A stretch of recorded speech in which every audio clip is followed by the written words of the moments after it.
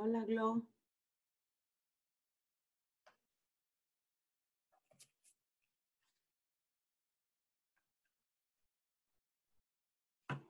Buenos días, Normita. Buenos días. Hola, buenos días a todos. Buenos, días.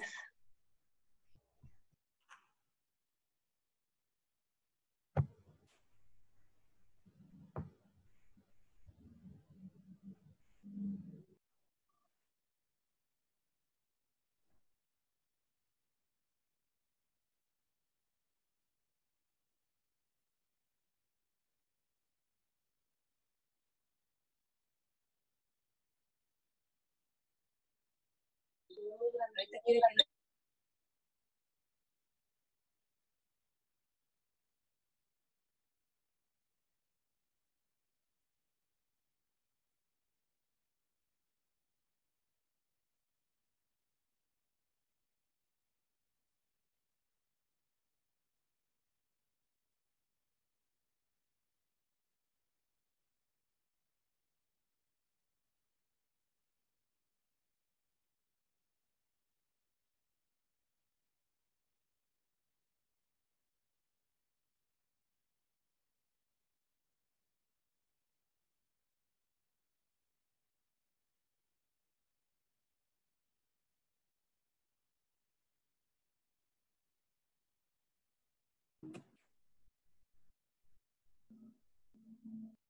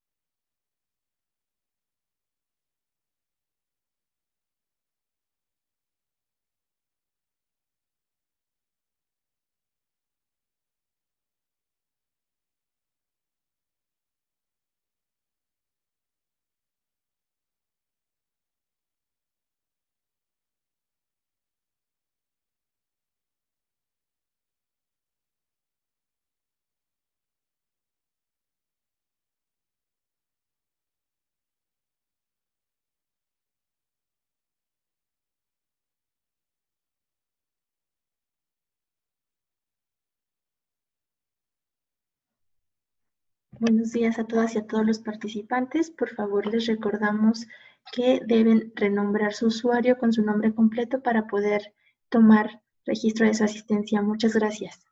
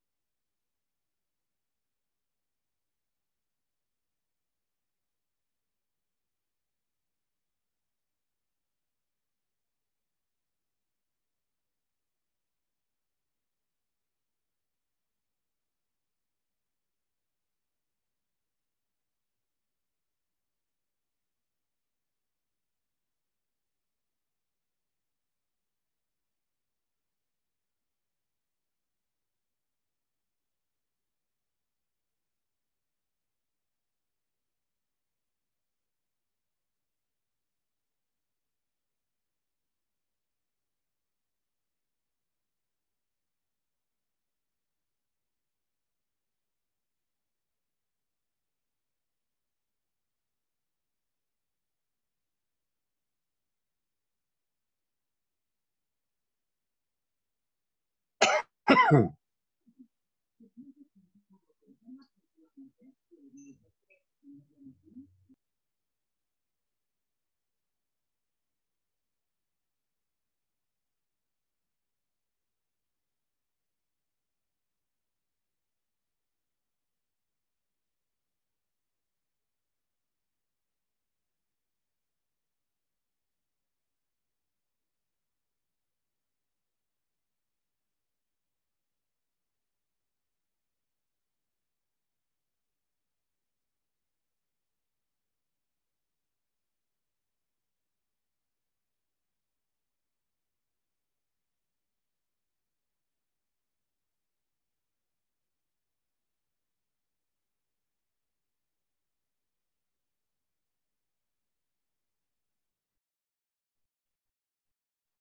Agradecemos la puntualidad de las personas presentes. Por favor, vamos a dar cinco minutos más mientras terminan de ingresar las personas que eh, se inscribieron, que aún faltan. Les recordamos, por favor, nombrar su usuario con su nombre completo para poder llevar el registro de su asistencia. Gracias.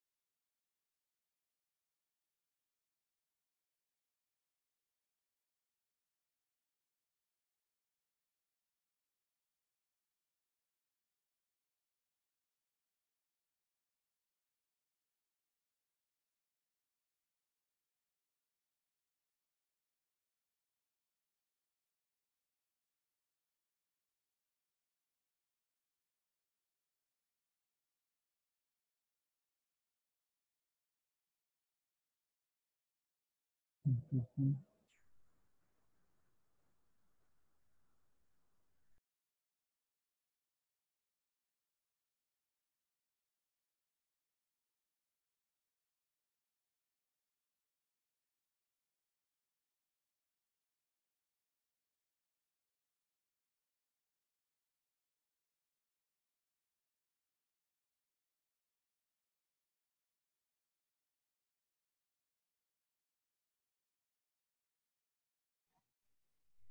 Buenos días, Miguel Ángel. Atendemos tu duda en el chat, por favor. Gracias.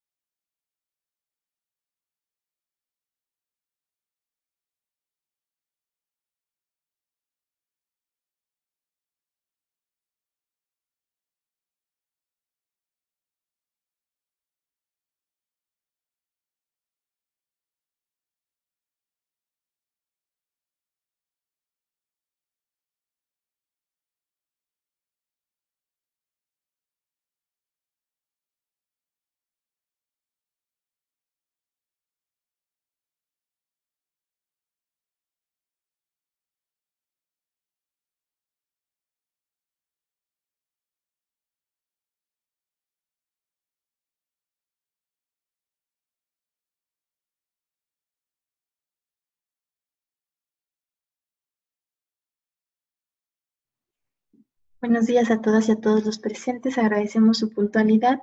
Vamos a dar cinco minutos más mientras terminan de ingresar los demás participantes. Muchas gracias. Les recordamos también, por favor, colocar su nombre completo en el usuario para identificar su asistencia. Gracias.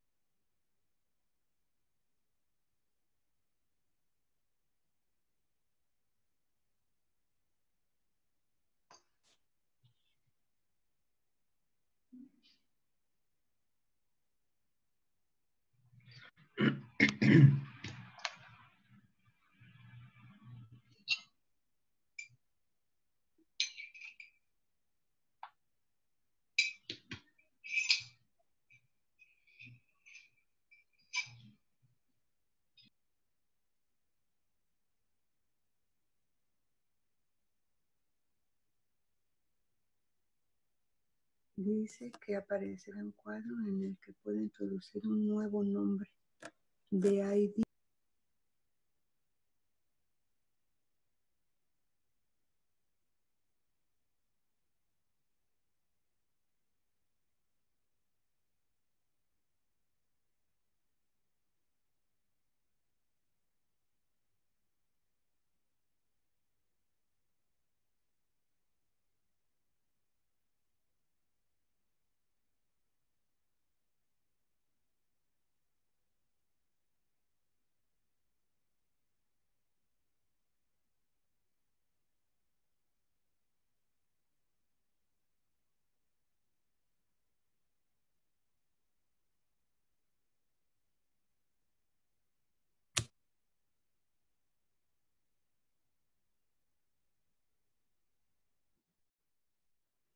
Buenos días a todas y a todos los presentes. A nombre de la Junta de Asistencia Privada de la Ciudad de México, reciban una cordial bienvenida a este webinar que lleva por tema Elaboración de Programa y Presupuesto 2021, dirigido al rubro de salud y adicciones. Y tengo el gusto de presentarles a la licenciada Belén Torres Cruz, aquí presente, ella es licenciada en Trabajo Social por la Universidad Nacional Autónoma de México, con estudios de especialidad en modelos de atención con mujeres. Es asesora de la Dirección de Análisis y Supervisión, colaborando desde hace 15 años en la Junta de Asistencia Privada del Distrito Federal, ahora Ciudad de México, donde ha participado realizando visitas de supervisión a las IAPs, formulación de herramientas para el uso de las IAP, capacitación, investigación sobre temas del tercer sector y coordinación de rubros. Belén, muchas, muchas gracias por tu asistencia. Bienvenida. Gracias, buenos días a todos. Muchas gracias por estar aquí.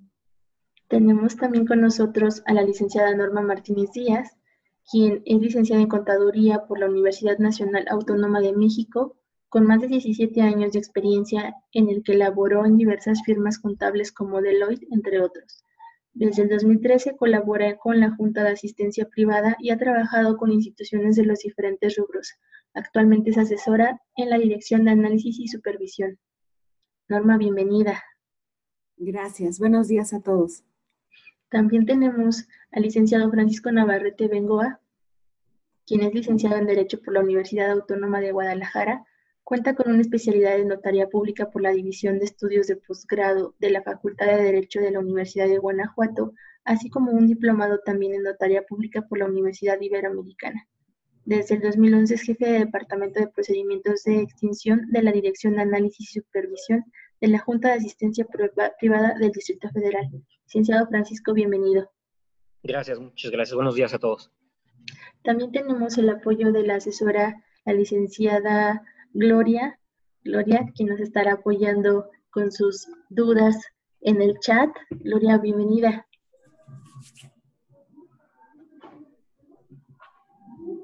Bienvenida, Gloria. Listo, ya activamos tu micrófono. Bueno, sin más, les cedo el uso de la palabra y les permito compartir pantalla para que puedan dar inicio con su ponencia. Muchas gracias a todos por estar. Gracias. Muchas gracias. Vamos a empezar con la presentación. Eh, antes que nada, eh, pues mm, gracias por estar aquí y es un tema que ya hemos, eh, ustedes ya, muchos de ustedes ya lo conocen, es la plataforma del escritorio virtual, es una obligación legal que está dispuesta en las instituciones de asistencia privada y bueno, algunos van a refrescar conocimientos, van a conocer la herramienta y bueno, cuál es el fundamento legal de esta y digamos que las particularidades que hacen oficial la entrega de, este, de, este, de estos documentos, ¿no? Cualquier duda, por favor, en el chat. Ojalá que no perdamos el Internet, como estamos trabajando en una plataforma en línea desde, desde el, el servidor de la Junta, a lo mejor tenemos como ahí un poquito de, este, de que se trabe o que se ponga un poco lento, pero les pedimos su paciencia y trataremos de que, de que sean las menores fallas, ¿no? Voy a empezar a compartir pantalla.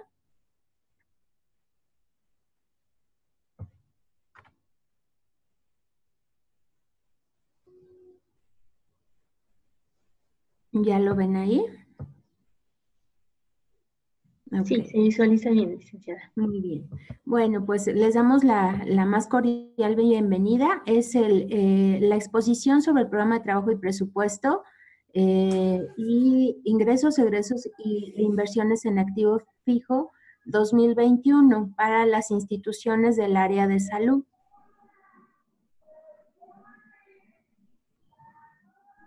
Esta, esta obligación, como ustedes saben, se encuentra dispuesta en el artículo 49 y también en la fracción 5 del artículo 103 de la Ley de Instituciones de Asistencia Privada. También en el reglamento de la misma ley está en los artículos 48 y 49, ¿no? Es algo, hay obligaciones que, pues, que están dispuestas en la ley y pues que son como muy claras en cuanto a la a la presentación o a la obligación para presentarla por parte de las instituciones. También tenemos aquí, ya empezando en, el, en, materia, eh, pues ustedes saben que las instituciones cuentan con un objeto y el objeto para materializarlo y para estructurarlo, ustedes ya lo tienen como, como bien estudiado, han realizado trabajos sobre modelo de atención, han realizado eh, pues manuales de procedimientos, toda la, documentación que da base o que hace que la, institución pueda moverse en un campo ya muy, muy determinado. Y, dentro de estas también están nuestro programa de trabajo, ¿no?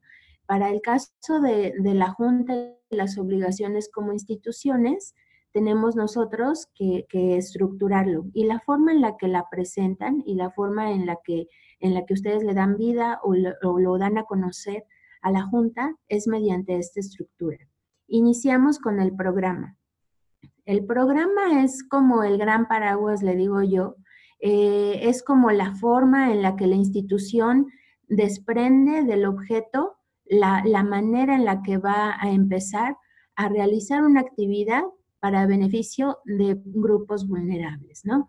En el caso de salud, pues tenemos regularmente servicios de salud que se proporcionan eh, por medio de hospitales, de clínicas, de consultorios médicos. También hay instituciones que tienen escuelas eh, para formación de personal de salud. Eh, apoyos económicos, también están las instituciones que atienden procesos de adicción o atienden a personas con este tipo de problemáticas y eh, entre otras, ¿no? Entonces, eso, eso está en nuestro objeto y de allí partimos desde ese gran programa, ¿no? Regularmente, y bueno, vamos a entrar como ya más este, a los hilos de toda esta, de toda esta configuración. En el programa eh, les pedimos o se les recomienda que solamente tengan un programa por institución. Hay instituciones, y lo sabemos, que su, su objeto es como muy amplio ¿no? Y entonces está la institución atendiendo o tiene un hospital, también tiene una casa hogar para adultos mayores y también tiene una escuela. Mm, hay instituciones así de diversas, ¿no? Que parece que son cinco instituciones en una. Pero eh, allí, el, digamos que el tronco de este, de este programa de trabajo eh, es el, el, propio programa, ¿no? El objeto. Entonces, tendríamos que hacer un programa para facilitar las cosas sobre todo un programa en donde pudiéramos comprender todo lo que dice nuestro objeto, es decir, ah, pues el apoyo a grupos vulnerables en materia de salud, de alimentación, de educación, para que solamente creáramos, por así decirlo, un arbolito y a ese árbol le construyéramos o le configuráramos o le pusiéramos las líneas de acción, pero ya a nivel proyecto, ¿no? Este, este, programa plantea la problemática en la cual la institución contribuye a solucionar esa problemática, ¿no? Incorpora la perspectiva de derechos humanos. Allí les pedimos que, que ustedes puedan enfatizar en esta perspectiva, ¿no? ¿Por qué estoy acercando a una comunidad de Iztapalapa servicios de atención médica, ¿no? Servicios dentales. Ah, pues porque veo que en esa comunidad las personas que no tienen recursos, pues no tienen acceso, ¿no? Los niños, las personas mayores, eh, pero todo desde una perspectiva muy amplia y hablando acerca del derecho, en este caso, a la salud o a la educación, según sea el caso de, de ustedes, ¿no? en, a nivel proyecto, vamos como en la, en la pirámide construyendo y en la base tenemos el programa y se, continuamos con el proyecto o los proyectos, ¿no? Si eh, estos proyectos son la descripción de la asistencia que se proporciona. O sea, ya vamos a entrar como a, como a la materialización, vamos a entrar como a la forma en la que vamos a hacer eh, la, la actividad para las personas. Está conformado por una justificación, por los objetivos de ese proyecto, de los proyectos, las metas poblacionales, que son el número que vamos a atender, ya saben, tenemos dos, tipos de poblaciones fijas o flotantes, y el perfil de la población, ¿no? Que son las características muy generales que le vamos a poner a, a esta, o que van a definir a la población a la que vamos a atender. Y por último, es la proyección anual de servicios. Ahora sí, ya mm, después de las ramas que son los proyectos, vienen las hojitas, yo le digo, y las hojitas son eh, pues esos servicios que vamos a proporcionar, ¿no? No son todas las actividades que hacemos, son los servicios que brindamos, ¿no? Son eh, ¿qué, cuáles son los beneficios para las instituciones, cuáles son las formas en las que yo beneficio a un adulto, a una persona mayor o a un niño o a una mujer o a, un, a, un, a un varón que se acerca a pedir mis servicios, ¿no? No es todo lo que yo hago, porque yo puedo hacer cosas que en mi procedimiento me marcan de este, hacer, mm, no sé, solicitar donativos, este, hacer eh, em, evaluaciones, ¿no? Que no necesariamente son, son beneficios para la población, pero que sí derivan en esos beneficios, ¿no? Esa es la proyección anual de servicios y eso se dice anual porque se va a meter a un calendario en donde vamos a provisionar o vamos a poner el número total de esos servicios por cada mes. Entonces pueden haber variaciones en los meses según ya nuestra experiencia. Eh, todo eso es una, una, perspectiva, ¿no? Es algo que nosotros planeamos y pueden haber eh, meses en los que baja y sube este número de servicios, ¿no? Aquí hay que tener cuidado porque no, no son personas las que vamos a poner allí. A veces, en ocasiones, pudiera ser, de acuerdo con el, servicio que se va a brindar, pudiera ser como muy homólogo el, el número de personas, pero no necesariamente es el número de personas, es el número de servicios. Y la Junta elaboró hace ya, ya llevamos, este, este es el tercer año, elaboró un catálogo de servicios con el fin, o sea, nos pusimos los asesores a revisar como todos los servicios que las instituciones ponían en su programa de trabajo.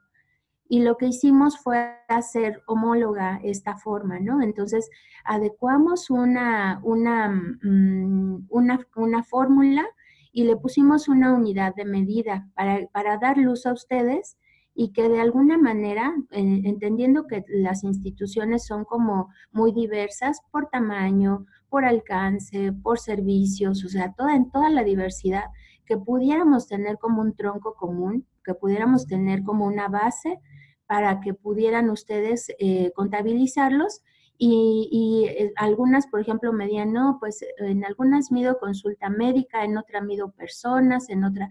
Y lo que se trató de hacer es que fuera la misma forma de medir el servicio, ¿no? Yo creo que en todos estos años eh, hemos visto cómo ustedes han ido entendiendo más los conceptos, que ya hay menos eh, mm, desfases en la información y eso pues nos da como, como o sea, nos, nos ayuda porque tenemos información que todos estamos entendiendo lo mismo, ¿no?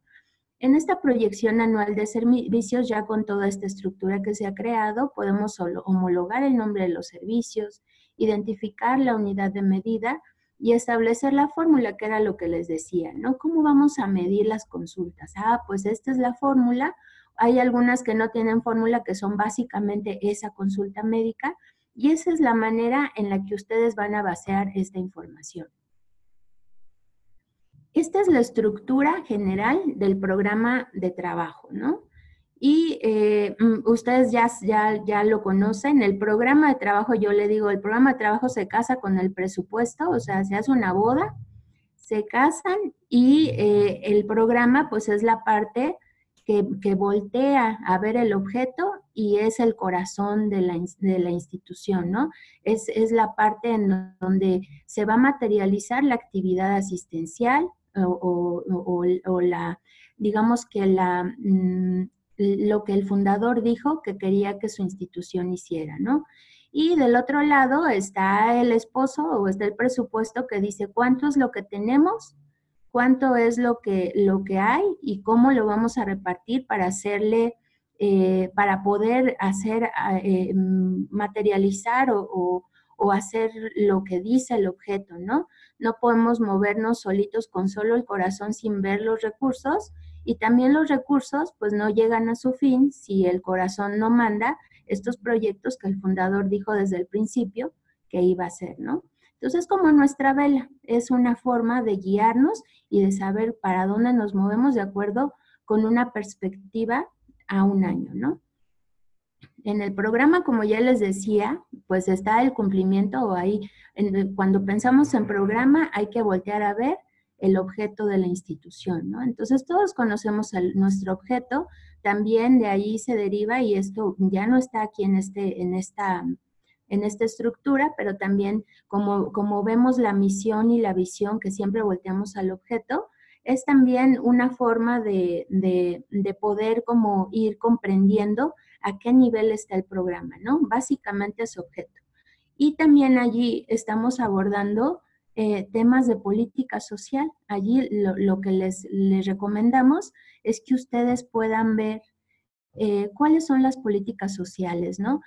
por ejemplo, los objetivos de desarrollo sustentable, las políticas del país, ¿no? Porque estamos a nivel macro, ¿no? Y de esa parte solamente vamos a pedir mm, mm, la presentación de la problemática y el nombre del programa. O sea, no hay más información que solo esa. Entonces, ustedes ya en sus manuales, en, en sus modelos, tienen como estadísticas, tienen este, mm, información que han trabajado eh, para comprender o para poder poner base a esa problemática que la institución está preocupada en atender, ¿no? Entonces, ah, pues son, son este, personas enfermas de cierta, con cierto diagnóstico que no tienen atención médica, que los servicios de salud pues son limitados o que no se ha estudiado en esa materia. Entonces ahí están, ¿no? Todas esas estadísticas nos ayudan a enriquecer el programa a ese nivel. Después viene el proyecto. El proyecto es, como ya lo habíamos platicado, es la forma en la que se eh, determina cómo se va a mejorar la realidad social diagnosticada, ¿no? Allí, en ese proyecto, en, a ese nivel, lo que nos ayuda mucho es lo que muchas veces hace el área de trabajo social, por ejemplo, cuando aplicamos estudios socioeconómicos y no solamente mm, revisamos la condición económica de la, de la, de la persona que solicita el apoyo, ¿no? Revisamos también em, eh, cuál es la estructura familiar, las redes de ayuda, este, los servicios, si, si es derecho habiente, o sea, más características de la población que nos dan eh, una panorámica general de cómo está nuestra, cómo está nuestra población, ¿no? El 50% pues son personas mayores o el 30% tiene un ingreso de menor a tantos salarios mínimos, o sea, es como entrar ya en materia pero con eh, el espectro de población que voy a atender, ¿no? Y, y, y, pues se puede desdoblar mucho según el alcance de la institución. Por ejemplo, pienso en el Hospital de la Ceguera, ¿no? Que vienen pacientes del el interior de la República, vienen a, atender sus padecimientos y pues allí hay un alcance mayor a nivel nacional. Hay otras clínicas que atienden más o que se focalizan más en la atención de la comunidad donde están operando, pero también tienen casos que vienen de lejos, pero siguen allí dando sus servicios y todos esos datos los podemos rescatar de eh, la, mm, la, búsqueda o el diagnóstico que hace en muchas ocasiones el área de trabajo social eh, cuando, cuando revisan cómo están los casos, ¿no? Cuando el paciente se acerca a pedir un apoyo porque no puede cubrir la cuota o alguna situación así. En ese proyecto, en ese nivel se, plasma el objetivo y las metas, que obviamente pues allí está considerado el presupuesto para plantear una meta eh, que es el alcance poblacional de la institución. Y en la, proyección anual de servicios hacemos ya el bajado de, qué es, cuál es el, servicio de contacto a la población, ¿no? O sea, qué es el, el, digamos que el fin, cuál es el beneficio final de todo ese proceso, de toda esa cajita negra que nosotros hacemos en la institución para que ellos reciban qué. Ah, pues las consultas médicas, la, este, la entrega de, los apoyos en especie, este, la vacunación, la orientación social en nuestras pláticas que le damos a la población en nuestras salas de espera. Todos esos beneficios finales están en, a nivel proyección de servicios. Eso es lo que hace tangible, ¿no? Cuando una persona va a, nuestros, a nuestra institución, Allí dicen, pues, ¿a qué fuiste? Ah, pues es que fui al, doctor, me dieron consulta médica, ese es beneficio. Le aplicaron una vacuna a, mi hijo, ese es otro beneficio. Ah, y también estoy monitoreando peso talla del niño, ese es otro beneficio. Todos los beneficios que hacen em, tangible la actividad y que tienen un fin según lo que se describe en el proyecto que derivan del objeto que está a nivel programa. ¿Vamos bien?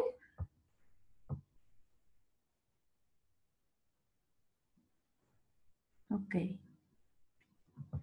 Bueno, pues ya en esta, todo, en esta configuración, vamos a, vamos como a, ir como con las partes más... ¿Y qué eh, quiere?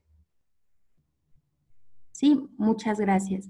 Vamos a, entrar como ya en la materia de, del... Te lo envío ahorita del proyecto, por favor silencien sus micrófonos. Em, en esta parte tenemos, eh, en el proyecto les pedimos considerar lo siguiente. Cuando vamos a, definir los proyectos, tenemos que, definirlos con base en el tipo de población. Es decir, aquí les pongo un ejemplo. Tenemos una meta de 20 personas, eh, una meta poblacional, y las características son niñas y niños de 0 a 9 años de edad en estado de desprotección, ¿no? Ese, es, ese, es, mi proyecto y ese es mi, mi, objetivo, ¿no? Lo incorrecto en mi estructura del programa de trabajo, en la parte de los proyectos, sería que abra proyecto por necesidades básicas, que ahí voy a meter la alimentación y la pernocta o el alojamiento, el proyecto de salud integral, con toda la parte de los médicos, de las consultas a los que los llevo, de los hospitales que visito, de los laboratorios, toda esa parte en otro proyecto con esa misma población. El proyecto de recreación y cultura, pues cuando los llevo al cine, al teatro, hago este, actividades al aire libre, toda esta parte con los mismos niños y es otro proyecto y el proyecto de apoyo pedagógico, que bueno, ahí tengo a unas maestras que le están brindando apoyo para las tareas, para el seguimiento en la escuela, pero todos esos proyectos son para la misma población. Esa es como una forma que complica un poco la estructura, sobre todo para ustedes, porque cuando también es, este programa de trabajo tiene conexión con el informe de actividades, ustedes o duplican la, la, la meta o tienen que dejar en ceros los demás proyectos. Lo que se recomienda es, lo siguiente con este, con este mismo ejercicio. El proyecto sería atención integral de la infancia en estado de desamparo y los servicios, allí ya metemos la alimentación, el alojamiento, la consulta médica, la psicológica, el fomento a la cultura, la recreación, todos esos, pero a nivel servicio, es decir, tomamos nuestro tronco, nos quedamos con las ramas que son mi proyecto y ahí pongo mi proyecto porque el proyecto lo, lo determina o el número de proyectos se determina por el tipo de población diversa y meto los servicios como las hojitas, ¿no? Para esa misma población. Si ustedes tienen ya el, anterior esquema, considérenlo. No pasa nada. O sea, digamos que la estructura solamente aquí lo, los orientamos para que sea más fácil para ustedes y, eh, y, lo consideren porque a nivel presupuesto no hay mayor problema con que, con que se queden solamente con un proyecto por tipo de población. Hay otras instituciones que dicen, bueno, tengo este de, de, personas, niñas, niños, y también tengo eh, una escuela, ¿no? Que es para otra población. También tengo mi clínica, que es para otra población. Entonces allí sí tendríamos tres ramas para meter las metas poblacionales solamente una vez, según la población que estamos atendiendo, y desdoblar como todos los servicios que, que vamos a darle a cada una de esas poblaciones.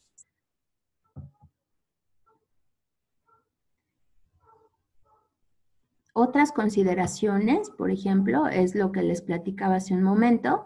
Eh, al hablar de varios proyectos, entonces les pedimos o, o les, les, sugerimos que ustedes consideren que cuando son varios proyectos, son varios grupos poblacionales, ¿no?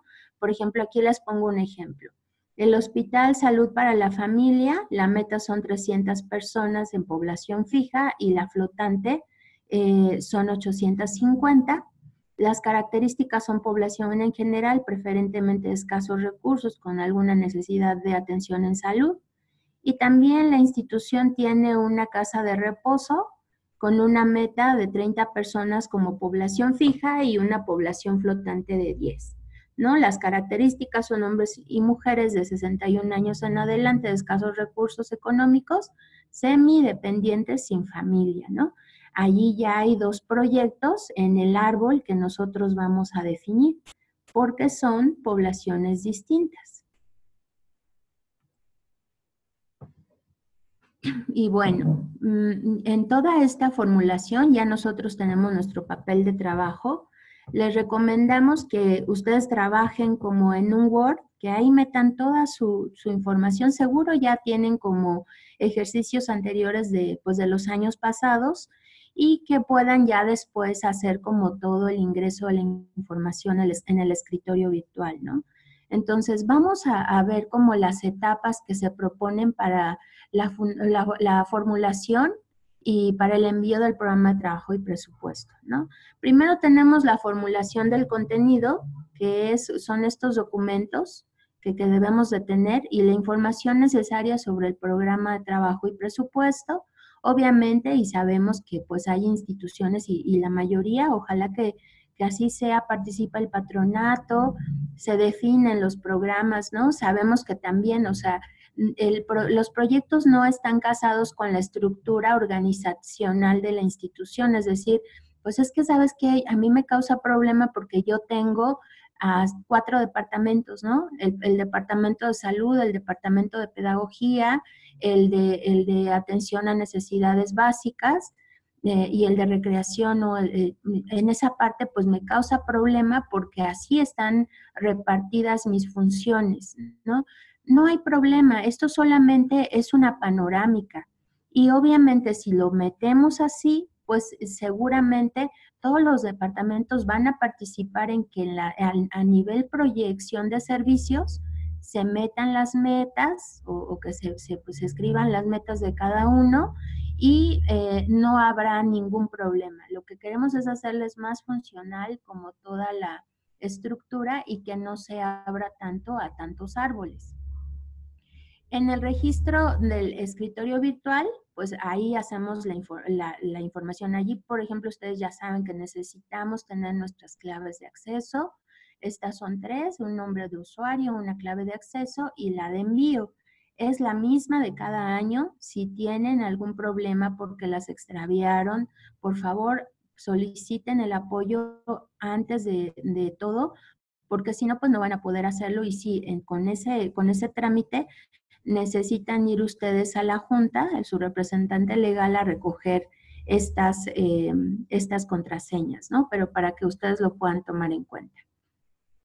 En, eh, este registro eh, también tenemos allí que, que, hay que tener claro el tema de la presentación de la sesión de patronato con la fecha y bueno, lo que les comentaba, ¿no? El envío de la tercera contraseña de la presentación oficial del trámite, mm, pues ya no les pasa casi a nadie, pero sí algunas se confunden pensando que solamente es el tema del EBT.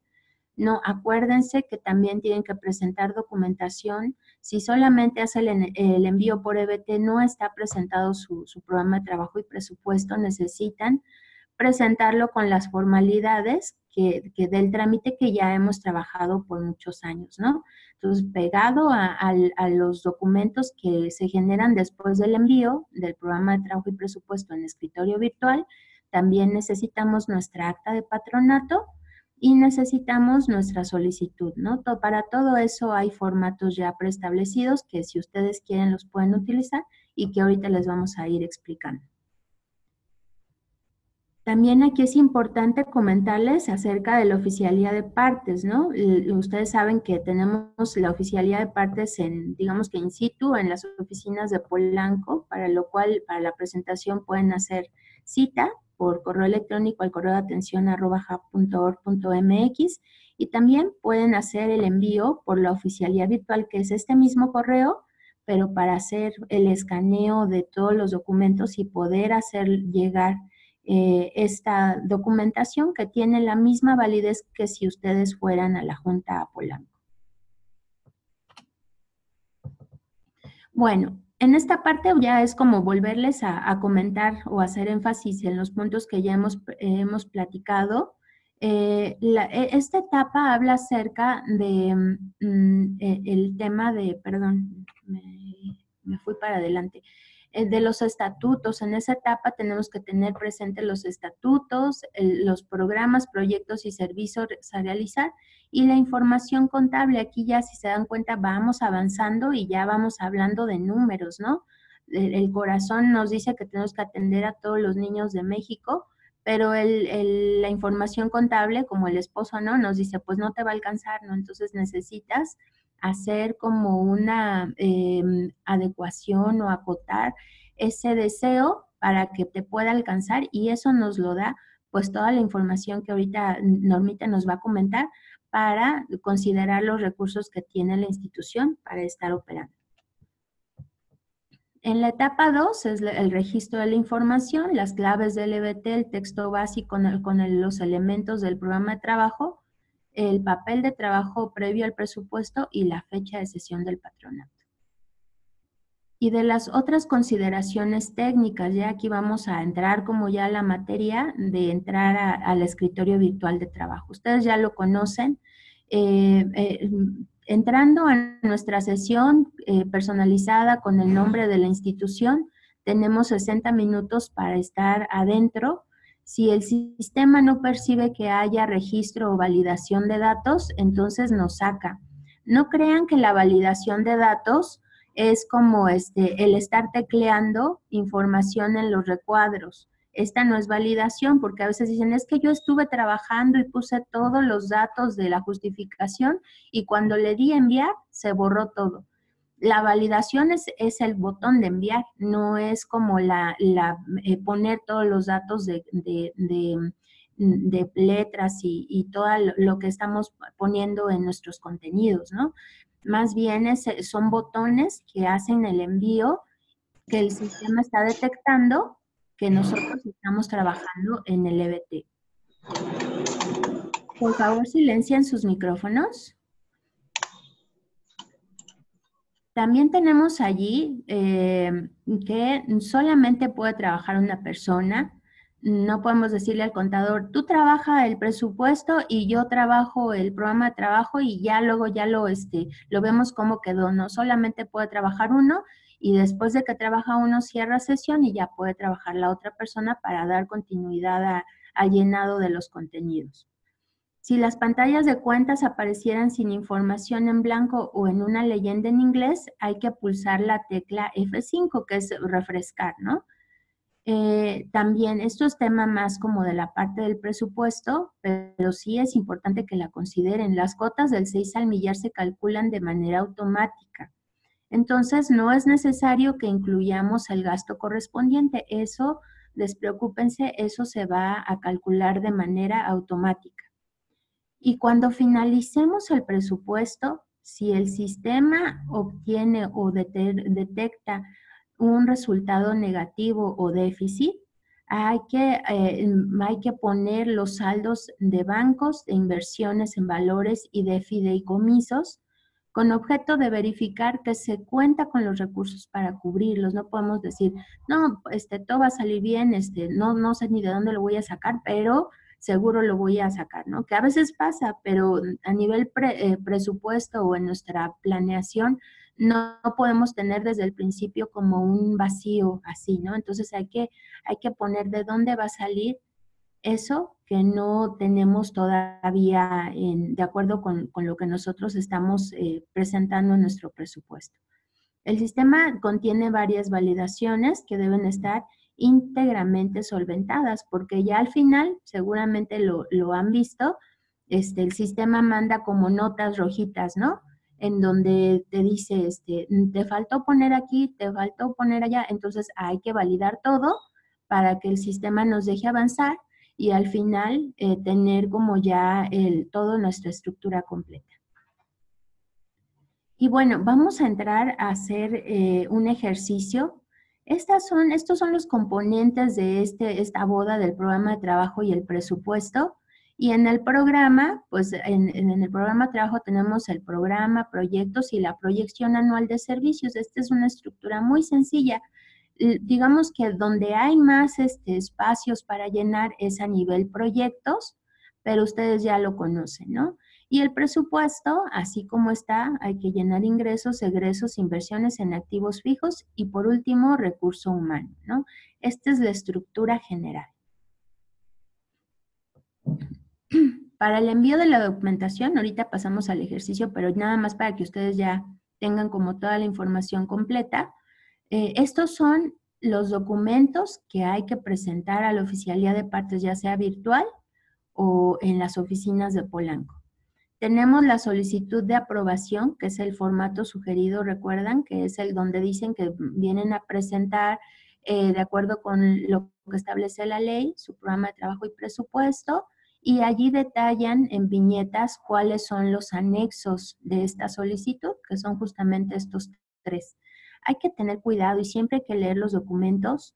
No se confíen porque mm, sabemos que por el momento que estamos viviendo, un error puede hacer que tengamos que otra vez volver a, recolectar firmas y si ya era complicado ahora, pues mucho más, ¿no? Revisen los años, que no diga 2019 o 2020, es el programa de trabajo 2021 y las fechas que, pues que, mm, que son vigentes, ¿no? Esta solicitud tiene que estar firmada por el representante legal con facultades para actos de administración, que regularmente ustedes ya saben quién es y cuáles son, eh, mm, mm, o sea, quién está facultado para hacer esta firma, ¿no? El resumen presupuestal, que es el que se genera del escritorio virtual, ya ahorita en un ratito les vamos a decir Mm, ¿Qué es, qué, qué es lo que cuando ya se envía ya no tiene una notita hasta arriba que dice no se ha enviado el programa de trabajo? Entonces, ese ya enviado es el que se tiene que adjuntar también con firmas, firmado por todos los patronos o asociados que hayan asistido a la sesión en donde fue aprobado. El programa de trabajo que se genera del EBT y eh, en, este, en esta también tiene que estar firmado. El programa de trabajo no solamente es la hoja del programa. Como ustedes lo ven, a veces hay confusión porque dicen, pues es que es el programa, pues el programa de trabajo, ¿no? No, el programa de trabajo está conformado por el programa, los proyectos que están en una misma hoja y la proyección anual de servicios que viene en otra hoja. Entonces, que no les falten estas, porque el programa y los proyectos están en un, en un mismo PDF. Pueden ser varias hojas, pero es un mismo PDF pero, pero la proyección de servicios siempre y necesariamente va a estar en otra hoja o hojas, otras hojas. Entonces, para que no les falte todas estas hojitas, la verdad es que yo soy más así de mejor firmen todas para que luego no me vaya a faltar alguna.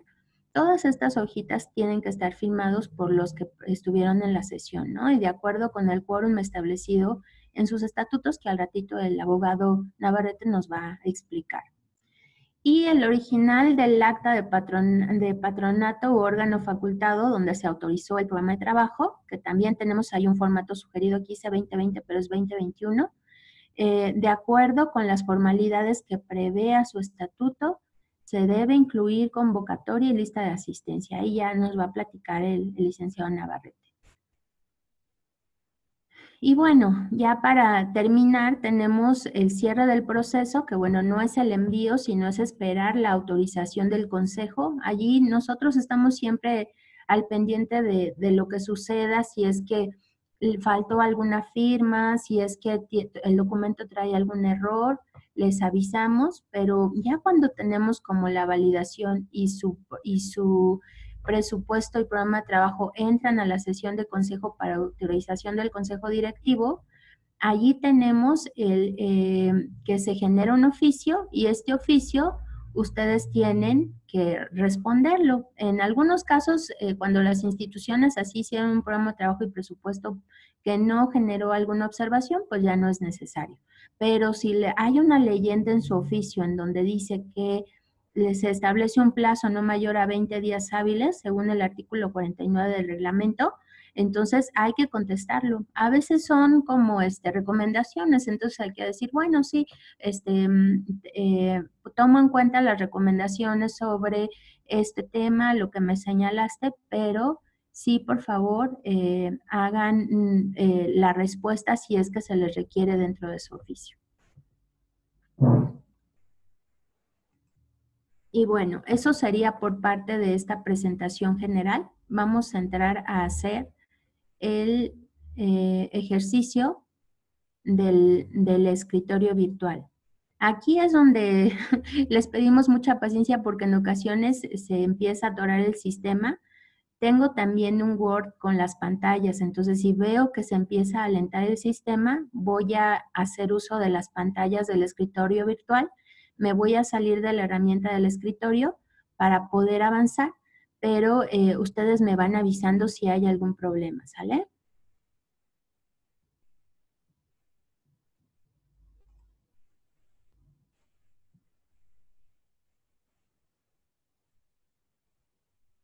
Ahí estamos en el escritorio virtual. ¿Sí lo ven, verdad?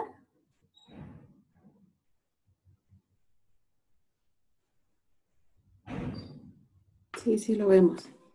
Muchas gracias. Estoy entrando.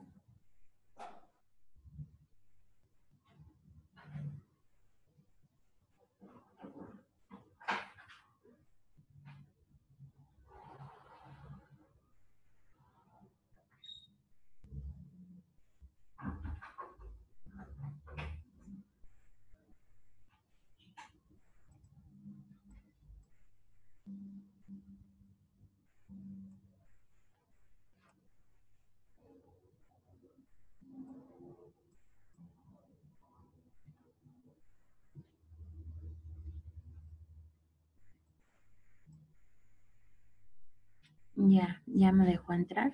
Entonces, ya estoy aquí. Este es un escritorio de prueba. Ahí van a ver el nombre de la Cruz Blanca, pero no crean que, que le vamos a ayudar a la Cruz Blanca. ¿eh? Es una prueba y vamos a iniciar. Ya saben, tenemos tres botones. En el botón de aplicaciones tenemos programa de trabajo y presupuesto. Y nos vamos, aquí tenemos un instructivo. Somos como las mamás que te dicen como 10 veces lo que tienes que hacer y el hijo ya le dice, ya mamá, ya me explicaste muchas veces, ¿no? Les ponemos un instructivo con todo lo que, para ayudarles como a orientarles sobre todo lo que, lo que implica este trámite, ¿no? Entonces aquí está la solicitud de aprobación que tiene un link y ustedes pueden descargar la solicitud. Aquí está el acta de sesión que también es en nuestro otro formato que tiene otro link y pueden ustedes descargarla igual en Word para que ustedes puedan hacer eh, la edición de acuerdo con la institución. Conceptos generales sobre programa de trabajo, sobre la herramienta, cómo entrar, cómo este, operar. Eh, seguramente la mayoría de ustedes ya conocen cómo, cómo opera, pero es como eh, la forma en la que ustedes pueden tener un resumen general de cada espacio técnicamente y también de los conceptos dentro de la metodología de, este programa de trabajo, ¿no? ¿Qué, se entiende por programa, por problemática, por proyecto, para que ustedes puedan tener una referencia directa de cada concepto, ¿no? Igual, eh, allí tenemos eh, algunas cuestiones con respecto a em, bueno, todo esto es programa de trabajo, cómo deben de guardar y el presupuesto también trae sus conceptos. Aquí también tenemos como toda la, parte de, los conceptos y, también em, las, eh, las instrucciones para hacerlos llenados, ¿no? Esto en cualquier momento dentro de su EBT lo pueden tener, lo pueden descargar, si quieren lo pueden imprimir o, o desde su pantalla lo pueden revisar por si tienen alguna duda, ¿no? Y obviamente pues siempre estamos para darles la orientación si lo requieren, ¿no? Ahí está. Otra vez volvemos a, programa de trabajo y presupuesto. Tenemos, y en este segundo, en este segundo, la opción del abanico, está ya el ingreso a toda nuestra, a toda nuestra, eh, nuestra herramienta, ¿no? La introducción, les hacemos como un, un, este, un pequeño resumen de, lo de atrás, es como la bienvenida con los fundamentos y las definiciones. Y en este botón tenemos el menú. Aquí tenemos el inicio. Vamos a empezar con administración de programas y proyectos.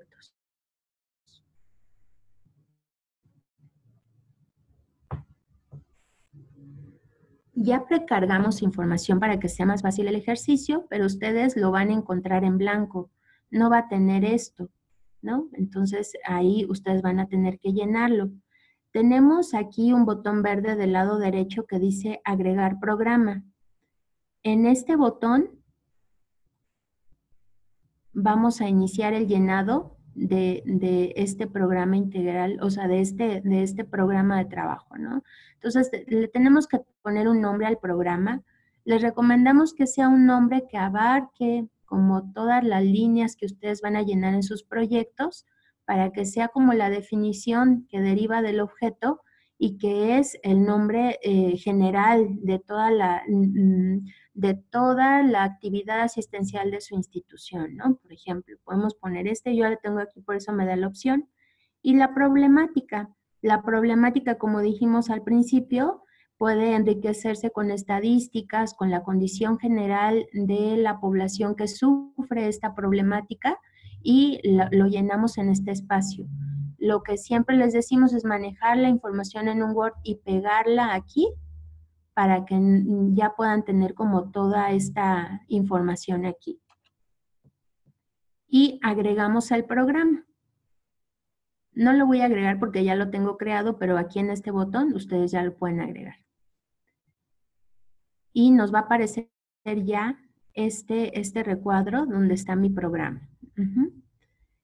Después tengo, eh, ya tengo mi programa, yo le puse salud integral para todos. Y aquí en esta opción tengo eh, un botón verde donde dice agregar proyecto. hay, un micrófono prendido. Eh, cuando agrego proyecto... Ahora es abril. Pues porque así la gente cambia de trabajo. ¿Pueden, ¿Pueden silenciar, por favor? Gracias. Ok.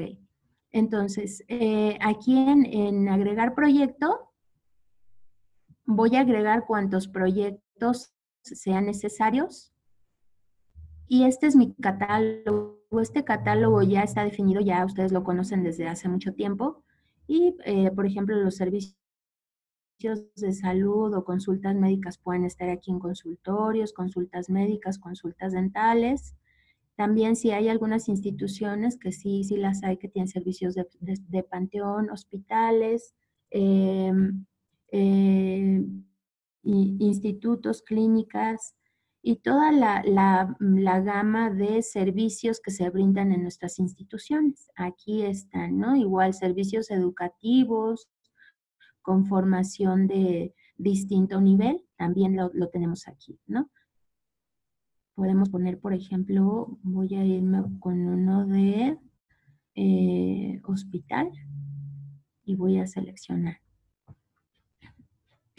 Aquí es donde viene como, donde tenemos más, eh, más información que llenar. Entonces le voy a poner hospital de especialidades y el nombre de mi hospital lugar donde se desarrolla el proyecto, le recomendamos que sea la dirección del hospital o del lugar A veces, eh, una de las preguntas más recurrentes es, si tengo eh, un, un, proyecto que se desarrolla en varias comunidades, ¿qué voy a poner aquí?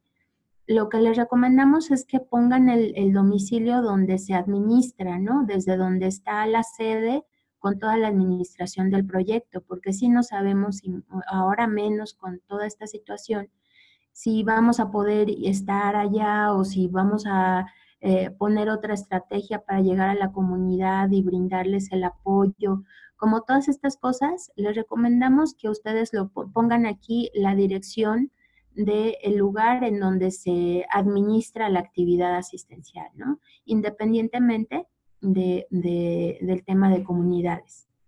En la justificación, allí, eh, como, como aquí tienen varias claves para que vayan ustedes también guiándose, eh, es lo que platicábamos que puede saltar o puede salir de todos los estudios que, ha hecho, que han hecho las áreas, ya sea trabajo social o la área de ingresos, donde tenemos como la carnita de las características generales del, del grupo poblacional que estamos atendiendo. Entonces aquí podemos decir el 50% de mis, de mis pacientes son, tienen estas características y el 20% no tiene un ingreso fijo, se dedican a la economía informal, como todas estas características que me dicen por qué es importante brindar el servicio que, que yo le quiero brindar a esta población, ¿no? Y en el objetivo, pues voy a plasmar cuáles son las metas o más bien los, los fines, porque las metas son las, la población, pero los fines eh, de, este, de echar a andar este proyecto asistencial, ¿no? Y luego tengo aquí mm, el tipo de personas o de población que voy a tener.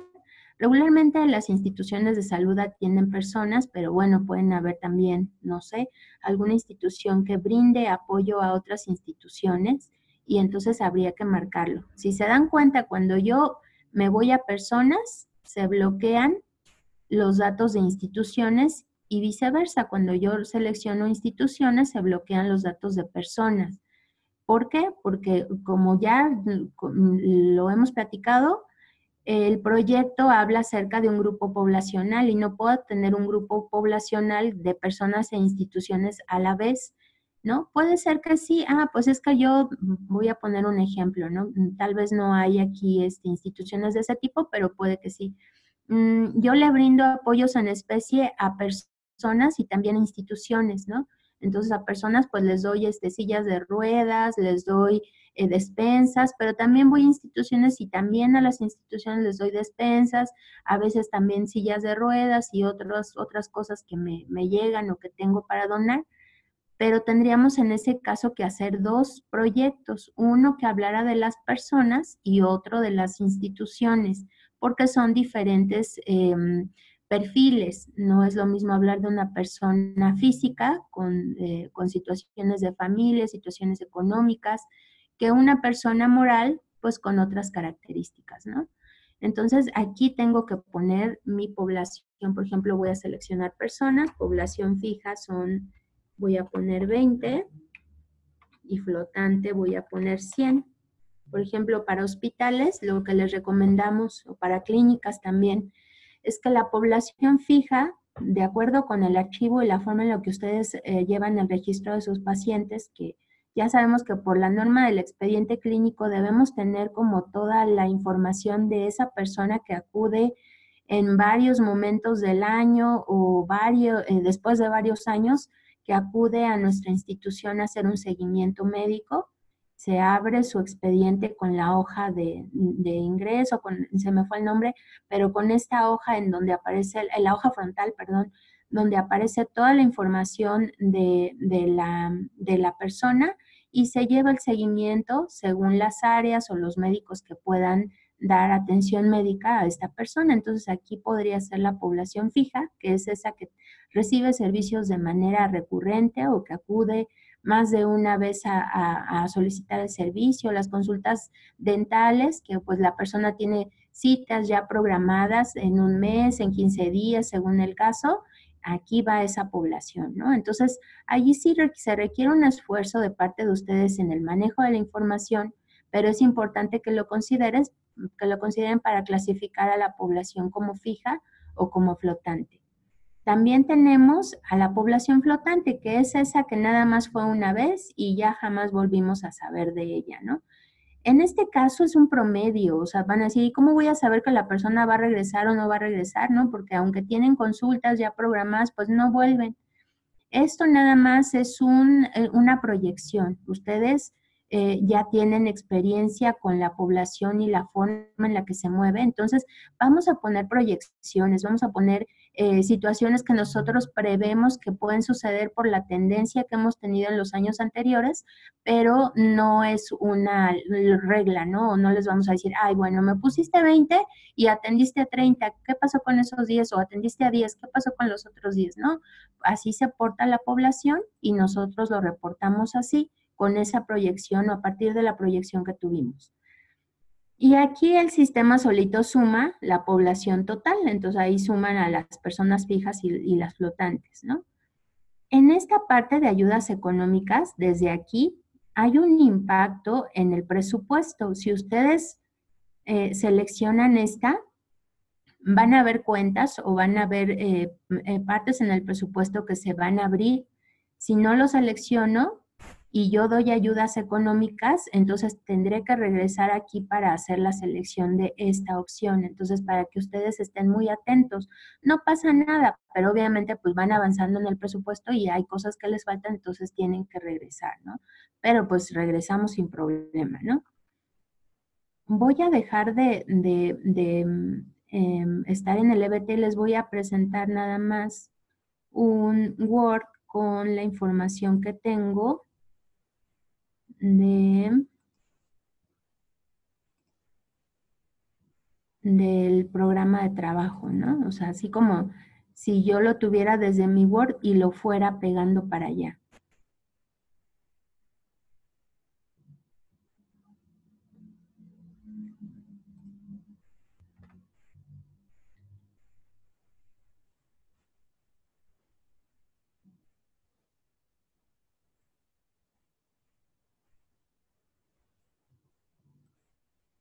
Aquí tengo como mi programa, ¿no? Entonces tengo el nombre del programa, que aquí está como lo tenemos en el EBT, mm, salud integral para todos, la problemática general, que bueno, ahí construí con información que encontré en internet, cómo está la situación de la salud a nivel nacional, los servicios médicos, estadísticas, eh, lo que les recomendamos es que vayan a fuentes que sean oficiales, a Coneval, que vayan a fuentes que no, pues que no a lo mejor sean sensacionalistas, sino más bien que hablen de información, pues que, sea oficial, ¿no? De, de, de, INEGI y, y, que puedan ustedes construirla. Seguramente ya, ya tienen allí información para, para, para compartir en la justificación de su programa en el, eh, perdón, en esta parte de, su programa que es la problemática, ¿no? Ahí vamos a presentar como la, la, panorámica general de la problemática que vamos a atender. A nivel proyecto, eh, tenemos ya mm, el hospital, ¿no? Que estábamos ahorita definiendo con esta justificación. Voy a copiarla desde ahorita. Y la población fija, flotante, eh, y aquí estaba yo creando otro proyecto para las instituciones que tienen como, como otras, otras formas de atención para otra población. Así pueden ustedes como trabajar sus documentos de, trabajo para que sea más fácil y el sistema no, no lo saque, ¿no?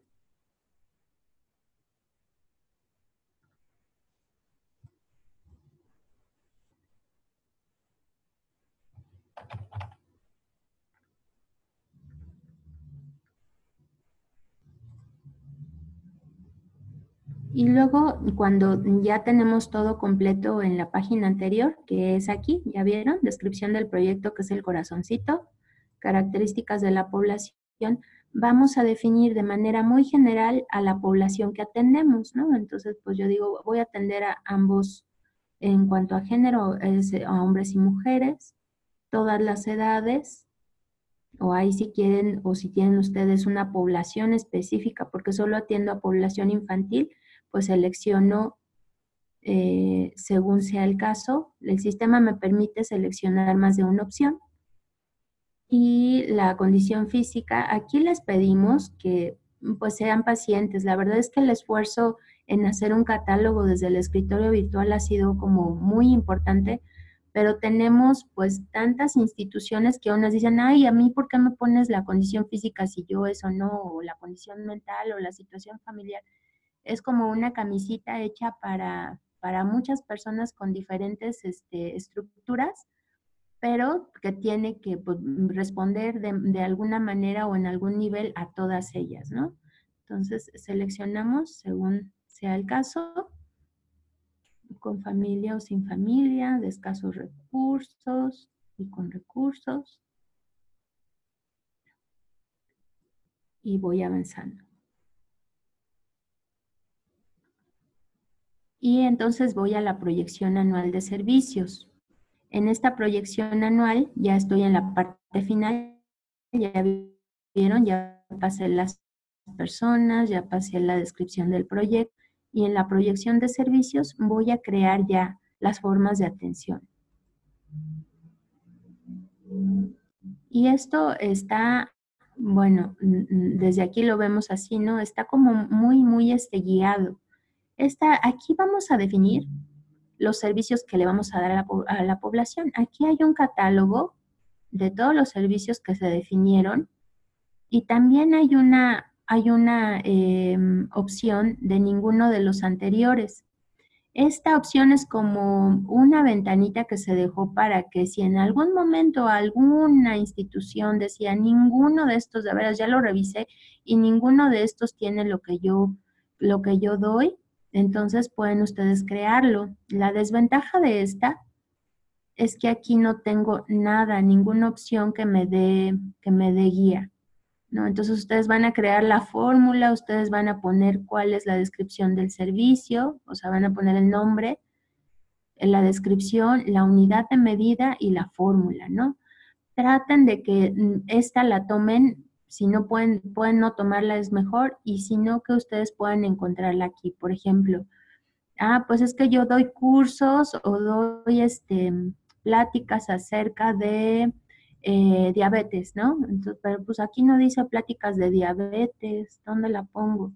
Aquí está orientación social grupal porque la doy ahí a un grupo de personas que están en la sala de espera. Y este segundo, este segundo espacio lo puedo cambiar según sea el caso. Aquí vamos a poner mucho énfasis porque a veces no saben, me imagino, no, no saben ustedes que se puede cambiar y lo dejan así. Entonces la institución es oftalmológica, por ejemplo, y dejó pláticas acerca de orientación a padres, orientación a no sé quién, o sea, cuestiones que no, y entonces es una observación que se genera en el oficio, porque decimos, oye, tu, tu este, actividad asistencial, de acuerdo con el objeto, está eh, acotada a problemas oftalmológicos y estás hablando que le estás dando orientación social a padres en materia de educación, por ejemplo, ¿no? O sea, no hay una conexión con el objeto. Allí tenemos que poner justo lo que vamos a hacer o tomar una parte de lo que ya hay ahí. Entonces voy a poner pláticas sobre diabetes, ¿no? Ahí ustedes pueden como ser lo más específicos o tomar una parte de, ah, por ejemplo, ahí dice orientación social en salud o prácticas en materia de salud. Y en esta bolsita voy a meter las pláticas de diabetes, las pláticas de salud pública, las pláticas de cuántas cosas ustedes les den para no tener que abrir varios, em, varios servicios, sino solamente esta. Y aquí voy a poner a trabajo social con sus pláticas. También puedo poner a epidemiología con sus pláticas si es que va a dar algo y lo, lo asigno según los meses y en mis controles generales yo sé a quién le sumé estos 100 que puse aquí, fueron 30 de epidemiología y 70 de trabajo social. ¿Sí me explico? Allí ustedes pueden irlas organizando. Este nada es la vista para la Junta, para medir los servicios que se, se brindan a la población. Este, este mm, mm, botón es solamente de ayuda, porque por ejemplo, si tengo 100 en todos los meses, para no poner 100 en cada mes, este botón me ayuda a ponerlo en todos, ¿no? Pero en diciembre ya no doy, entonces nada más doy 10 y entonces puedo cambiarle sin problema. En enero, pues es que todavía este, con todas las fiestas y todo, también tengo 10. En junio los niños se van de vacaciones y tengo una baja y ya no doy tantas pláticas, entonces pongo 30. Entonces, según sea el caso, ustedes pueden ir modificando y si su meta es em, pareja, pues lo dejan así, ¿no? Y registran su servicio. También para este mm, les podemos compartir el catálogo de servicios que es el mismo que hemos trabajado y es el mismo del año pasado. Entonces pueden darle una checadita, pero se los podemos compartir. Allí van a encontrar como toda la gama de servicios que, que nosotros observamos de acuerdo con lo que ustedes han puesto en sus programas de trabajo. Y vamos agregando más servicios, ¿no? Si tenemos, por ejemplo, mm, vacunación, allí, por ejemplo, podemos poner este, mm, de menores menores. Vamos a poner es la mm, campaña de influenza.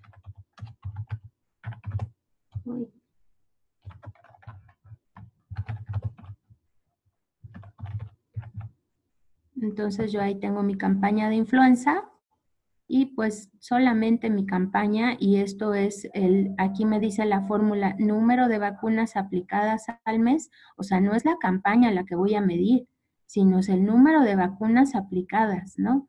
Ah, pues mi, mi campaña empieza en octubre y aplico 500 mm, vacunas en octubre, 500 en noviembre y 1000 en diciembre, ¿no? A los demás puede ser que les ponga cero en cada uno para que me deje avanzar el sistema. O primero pongo el cero aquí, le pongo cero, agregar y aquí nada más luego cambio lo de las 500 vacunas.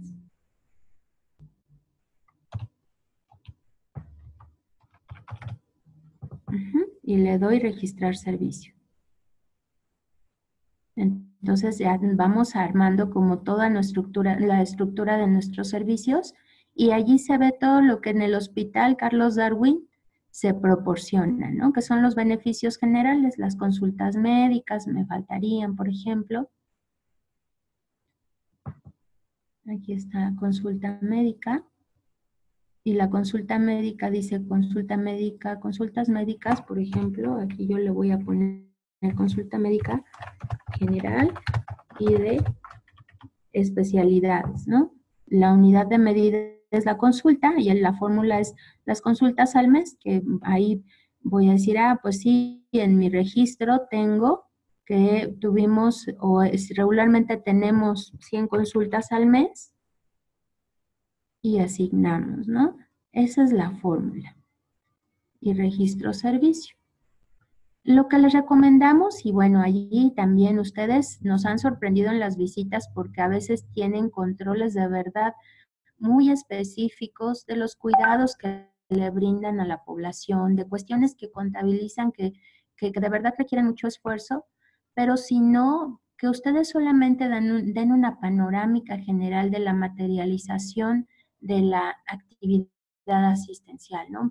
Mm, mm, si ustedes van a abrir muchos servicios que a veces nos van a hacer perdernos como en toda esta parte de, de, tantas cosas y no pudieron contabilizarlas y luego vamos a la visita y a ver, fueron tantas, este, cambio de pañal, por ejemplo. No, pues es muchísimo. Entonces, cosas que, que sean complicadas, que no tengan sentido en alguna forma, mejor déjenlas fuera y solamente presenten los servicios que son como sustantivos de la institución, ¿no? Eso nada más es como este, una, una recomendación, ustedes toman la, toman la decisión, pero para que no se desgasten como en toda esta parte, ¿no? Eh, también no vayan a hacer de que, ah, pues nada más le puse consultas médicas y este, todo lo demás no, lo dejé fuera, pues porque no es sustantivo, sí, sí es sustantivo porque la promoción de la salud está en la orientación social, em, el cuidado, la atención em, está en la consulta médica, la prevención también, pues en la vacunación, o sea, como todo, toda mi configuración como institución para promover el derecho a la salud. Entonces, listo, me voy a salir de aquí. Y mm, aquí voy a eliminar este de abajo, que es el que ahorita creé. ¿Hay alguna duda? Eh, ¿Vamos bien? Eh, ya le voy a dar la el lugar a, la compañera Normita, la contadora Normita, y eh, de todas maneras saben que ahorita vamos a contestar sus, dudas en, que hayan puesto en el chat, por favor.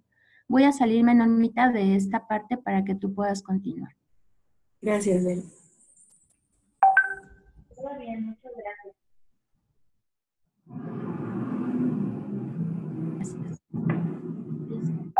Voy a dejar de compartir. Perfecto. Gracias, Belencita. Voy a compartir.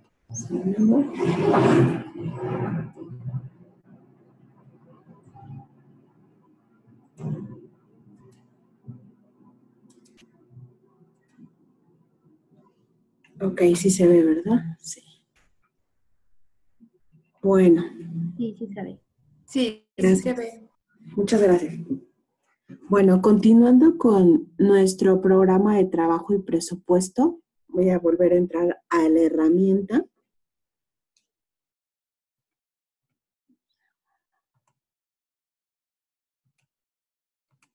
Ok, ahí estamos. Perfecto, ok. Como les platicaba em, la licenciada Bell, el sistema está compuesto, eh, obviamente dentro del, de la pestaña de aplicaciones tenemos tres grandes columnas que son nuestros programas asistenciales, nuestros proyectos de financiamiento y los administrativos. Si nosotros desplegamos eh, o le vamos a la pestaña de programas asistenciales, hacemos el desplegado de nuestro gran proyecto que acabamos de ver y que se dio de alta que en este caso, como ejemplo, es el del Hospital de Especialidades, ¿ok? Dentro de nuestro proyecto tenemos también columnas en las cuales tenemos la de ingresos, egresos, ayudas económicas e inversiones. En este caso, la, eh, la columna de ayudas económicas no está habilitado porque no se hizo así. Si ustedes, em, cuando estaban dando de alta el proyecto, te da la opción de eh, habilitar esto, pero si se le pone el botoncito se habilita, si no, no. Entonces, en este caso, supongamos que no.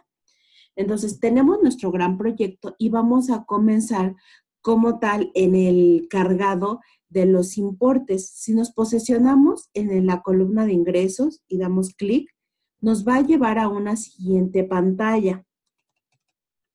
Y aquí nos va a mostrar el recuadro de agregar cuenta y nos va a decir, ok, estás en la parte de tus ingresos.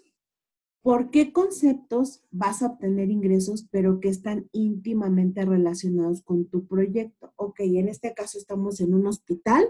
Vamos a decir, eh, tengo ingresos por hospitalización, por rehabilitación o servicios auxiliares. Seleccionamos como ejemplo el de hospitalización, sombreamos el enunciado y le damos agregar cuenta. Tip, si ustedes le dan doble clic, no se les va a habilitar. O sea, tienen que hacer el sombreado y agregar. Y nos dice aquí que ya se agregó esta cuenta. Ok. Entonces, el sistema nos va a decir cuántos servicios vas a, eh, cuántos servicios estimas proporcionar. En este caso, cuando vimos el ejemplo, se tenían 600 servicios para el tema de hospitalización. ¿Cuánto es el importe que tú obtienes por cada uno de ellos. En este caso, ponemos un ejemplo, 200 pesos, ¿no?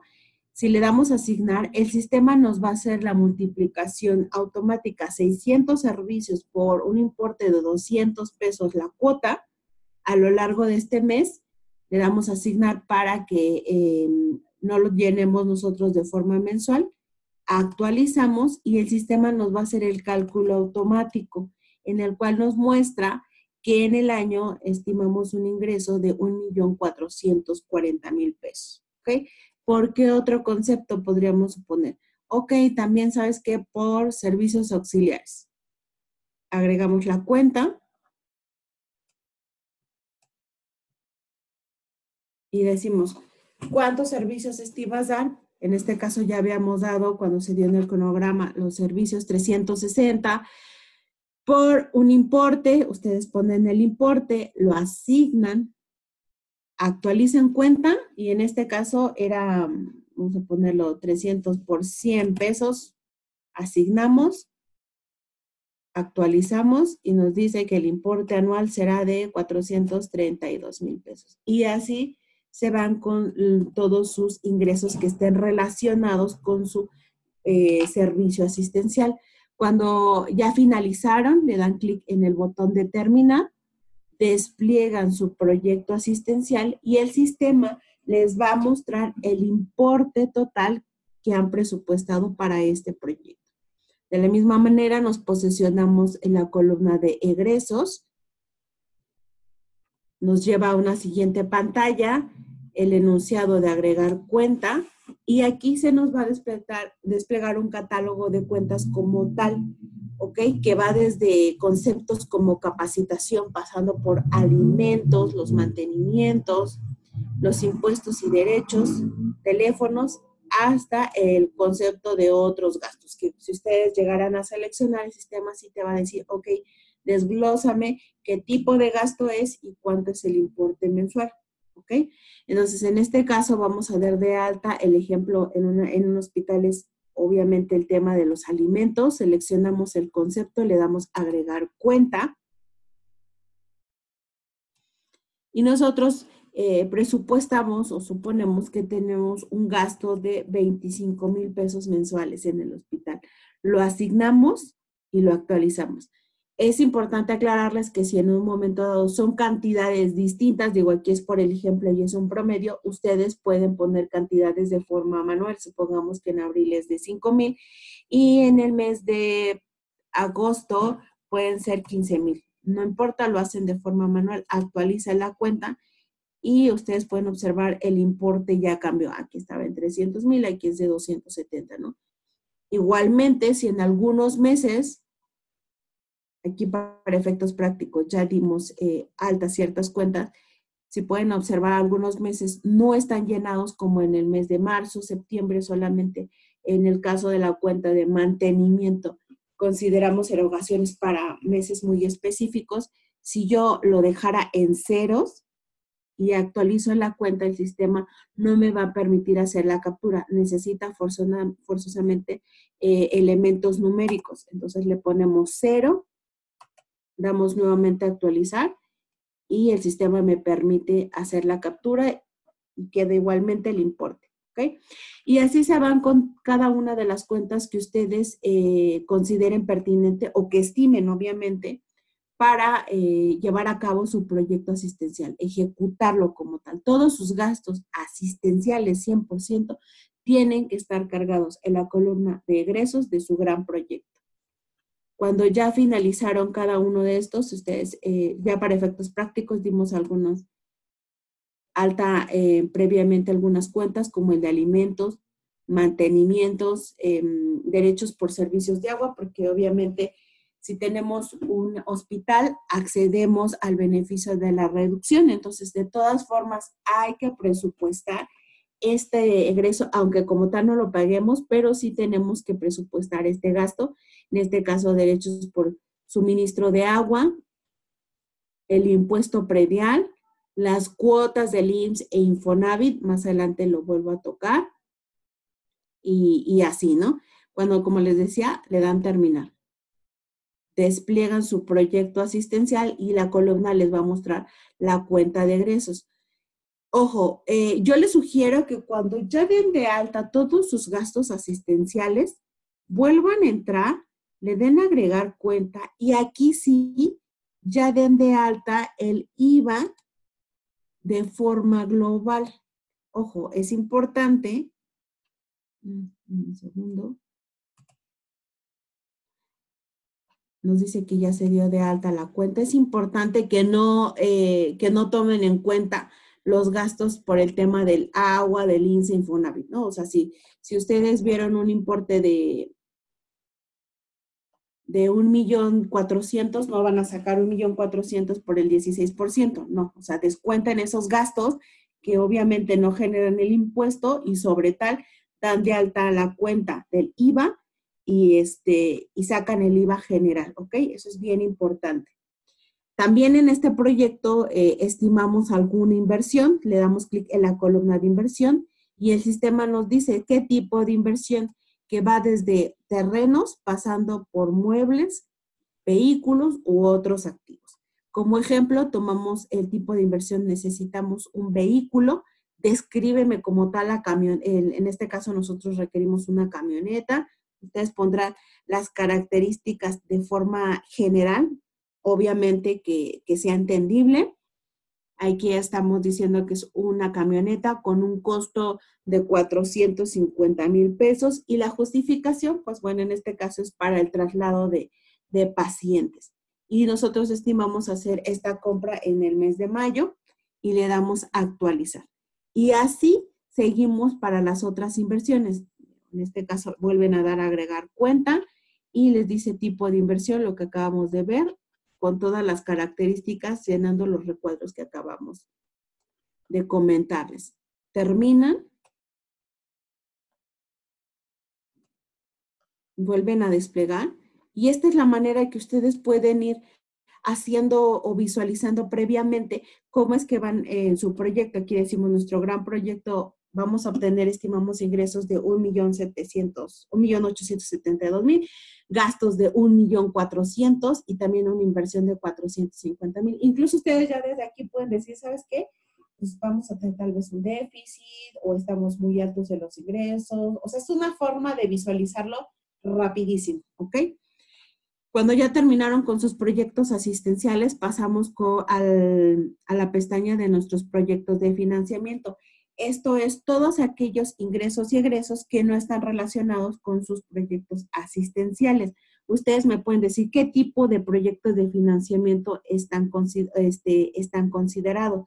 Si nosotros le damos clic aquí en, en el de agregar proyecto, se nos muestra el tipo de ingresos que nosotros podemos eh, tener también adicionales a nuestro proyecto asistencial. En el proyecto asistencial, pues ya sabemos que nuestros ingresos son derivados netamente eh, del hospital, pero ¿qué otros? Puede ser que tengamos inmuebles en arrendamiento, puede ser que también percibamos donativos, ingresos por em, ingresos por intereses bancarios, que nosotros lo conocemos dentro de la Junta como ingresos patrimoniales, porque accedemos a la reducción de contribuciones locales, porque hacemos recaudación de fondos, colectas u otro tipo de ingresos. Eso es lo que nosotros lo englobamos como proyectos de financiamiento. En este caso vamos a dar de alta la cuenta de donativos, sombreamos el concepto, lo seleccionamos y nos dice cómo se va a llamar tu proyecto. Le ponemos donativos recibidos. Es importante y aclarar que en este, en este proyecto de financiamiento global se meten todos los donativos que ustedes estiman recibir. No se vale abrir un donativo recibido, o sea, es decir, mi donativo por eh, en, efectivo de una IAP, más mis donativos en especie. No, aquí solamente es nuestro gran eh, bolsita que se llama donativos recibidos, ¿ok? Ahora sí vamos con la segregación ya nos dieron de alta nuestro proyecto. Ok, en la parte de ingresos, le dan clic aquí, le damos agregar cuenta y ahí sí, el sistema nos va a decir qué tipo de donativo vas a recibir. Ok, ah, pues voy a recibir donativos en efectivo y en especie, los cuales también están em, segregados o el sistema te los permite, te pide hacer, ok, estos son no restringidos restringidos temporalmente o permanentemente. La única diferencia de las restricciones es que si el donante te pone una o dos o varias limitaciones, ¿no? Y estas limitaciones pueden ser de carácter temporal o permanente. Es la única diferencia.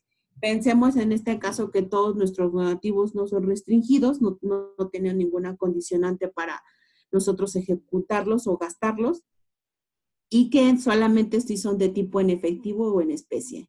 ¿Ok? Si son en efectivo, el sistema nos dice, pero también desglósame de dónde provienen, que puede ser igual de una institución de ciencia privada, del gobierno, mediante un legado, una colecta o en otros. En otros son los donativos que pueden ser de personas físicas y que nosotros eh, obviamente los percibimos, ¿no? Y en el caso de los donativos en especie, igualmente te dice, puede ser de alguna IAP, puede ser en forma de ropa y alimentos, te pueden donar medicamentos u otras partidas. Nosotros seleccionamos el de instituciones de asistencia privada, agregamos la cuenta. Y aquí como ejemplo, eh, estimamos no tener ingresos, eh, solamente puede ser, em, como un ejemplo, el Monte Piedad nos puede otorgar un, un, apoyo económico en el mes de junio por 250 mil pesos. ¿Ok?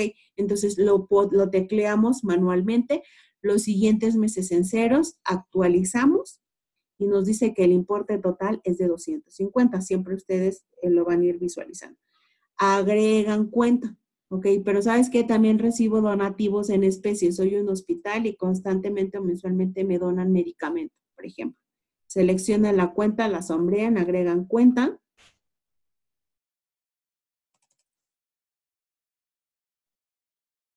Se despliega y nosotros estimamos un ingreso percibido que ya evaluado puede tener, eh, nuestro, nuestros donativos valen 15 mil pesos. Es un, es un donativo que nos dan o nos otorgan de forma mensual, entonces le damos 15 mil pesos, asignamos la cuenta, la actualizamos y el sistema nos dice que obtendremos un ingreso de 180 mil pesos. Y así nos vamos con cada uno de los donativos que estimamos percibir, como les decía, aquí, en, esta, en este recuadro o en este catálogo, dan todos y cada uno de los, eh, las características. No se vale, eh, se los vuelvo a comentar, que demos un proyecto para cada donativo recibido. Le damos terminar y el sistema nos muestra que en el año estimamos ingresos por este concepto de 430 mil pesos. En la cuenta de egresos dice no tienes cuenta registrada. Supongamos nosotros que pues algún, tenemos algún gasto por ahí. ¿Sabes qué? Sí hay como tal instituciones que tienen un departamento, incluso tienen una persona dedicada exclusivamente al tema de los donativos, ¿no? O sea, el, hacer la recaudación de fondos, ¿ok? Entonces, posiblemente esta persona para llevar a cabo esta actividad, pues sí tiene ciertos gastos, ¿ok? Pero solamente es muy importante identificar que esta persona, eh, para llevar, obtener ese donativo, no, en esta cuenta no vamos a meter, como les decía, sus gastos asistenciales. No, no, no, es exclusivamente lo que está relacionando con los, donativos. En este caso es muy común papelería, artículos de oficina, ¿ok? Entonces, vamos a decir, estimamos que para esta cuenta tenemos un gasto de 400 pesos de, mensuales de papelería. Lo asignamos lo actualizamos y el sistema nos dice que eh, tenemos gastos eh, anuales de 480 pesos. No se les olvide, como si supongamos que es nuestro único gasto como tal, agregar el IVA de este gasto, ¿ok? Entonces vamos a poner impuesto al valor agregado pagado en su, en su proyecto de donativos. Lo buscamos. Vamos a ponerle sus 64 pesos. Asignamos, actualizamos y el sistema nos dice que tendremos un IVA pagado por este de forma anual de 700 pesos. Le damos terminar y ya de esta forma visualizamos. Para este proyecto tenemos un ingreso estimado de 430 mil con un gastito de 5 mil y ya, y no estimamos inversiones para este proyecto. ¿Qué otro proyecto es muy, que muy común que tengamos? El de los ingresos patrimoniales, el concepto como tal. Nosotros aquí lo conocemos em, como ingresos patrimoniales, pero básicamente son los intereses bancarios que tengamos en nuestra cuenta de inversiones. Hay instituciones que no tienen cuenta de inversión, me dicen, tengo cuenta bancaria, ¿no? Lo debo de presupuestar, no, porque sabemos que los, em, Los intereses son muy pequeñitos, muy, muy pequeños. Entonces, es más bien cuando ustedes tengan una cuenta de inversión. Se dio de alta la cuenta, entramos a la parte de ingresos y el sistema, en la columna de ingresos, nos manda la siguiente pantalla y el sistema nos dice, ok, para hacer el cálculo, necesito que me pongas el monto de tu inversión y la tasa promedio anual. El monto de la inversión les sugerimos que tomen el último estado de cuenta que tengan a la mano. En este caso es de octubre, pues bueno, ¿cuánto fue eh, su monto de la inversión al 30 de septiembre? Ponen el importe, en este caso de 3 millones, con una tasa promedio de 3.5 anual. Le damos calcular y el sistema nos dice, ¿sabes qué? Sobre estas características, estima el sistema que tendrás un ingreso de 8 mil pesos 8.700 de forma mensual. Lo asignamos, si se fijan, en cambio, actualizamos la cuenta y ya el sistema nos dice que nuestro ingreso anual por intereses bancarios será de 105 mil pesos. ¿Ok? Y le damos terminar. ¿Ok? Tenemos otro proyecto muy común, que es el de la reducción de contribuciones locales seleccionan el concepto. ¿Cómo se va a llamar? Reducción de contribuciones locales. Tenemos, eh, pueden ponerle reducción por inmueble, como ustedes gusten, siempre y cuando sea identificable este concepto. Guardamos. El sistema nos dice que lo dio de alta.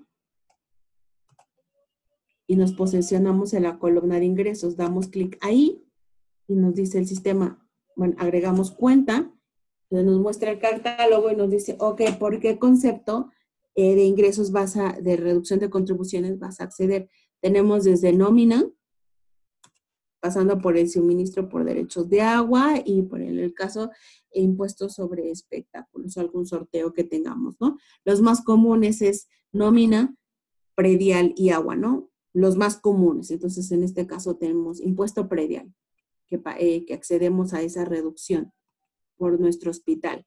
¿Ok? Eh, y, aquí pusimos una cantidad de 20 mil pesos. Ustedes lo pueden distribuir a lo largo del mes o bueno, para efectos prácticos lo puse en los meses de junio y de diciembre. También se da de alta, no se olviden los derechos por suministro de agua, en este caso solamente lo distribuimos de forma bimestral.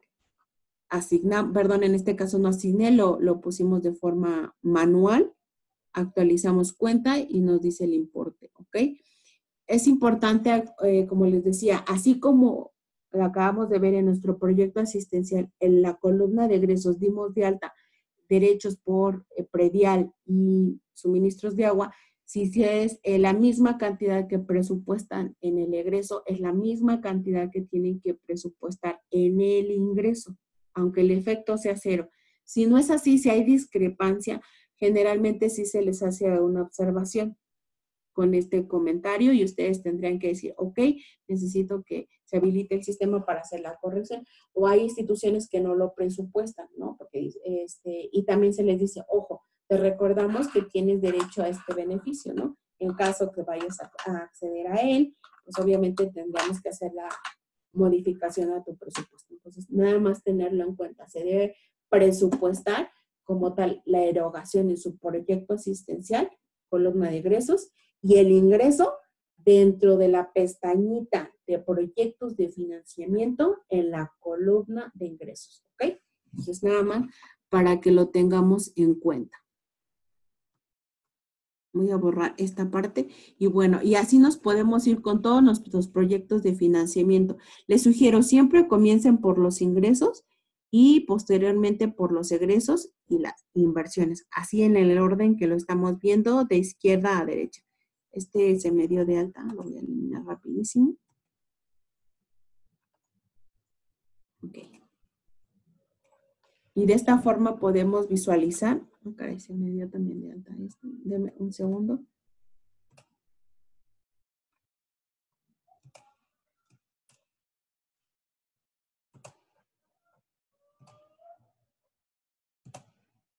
Perfecto. Okay. Y de esta forma visualizamos nuestros nuestra ventanita, nuestra pestañita de proyectos de financiamiento. Ok, como les decía, ingresos, egresos, inversiones y de esta forma vayan, dado, vayan eh, dando los de Posteriormente tenemos nuestra tercera pestaña, que son nuestros proyectos administrativos. Ustedes se fijan, por obvias razones, ni siquiera nos habilita la columna de ingreso y la de egreso sí.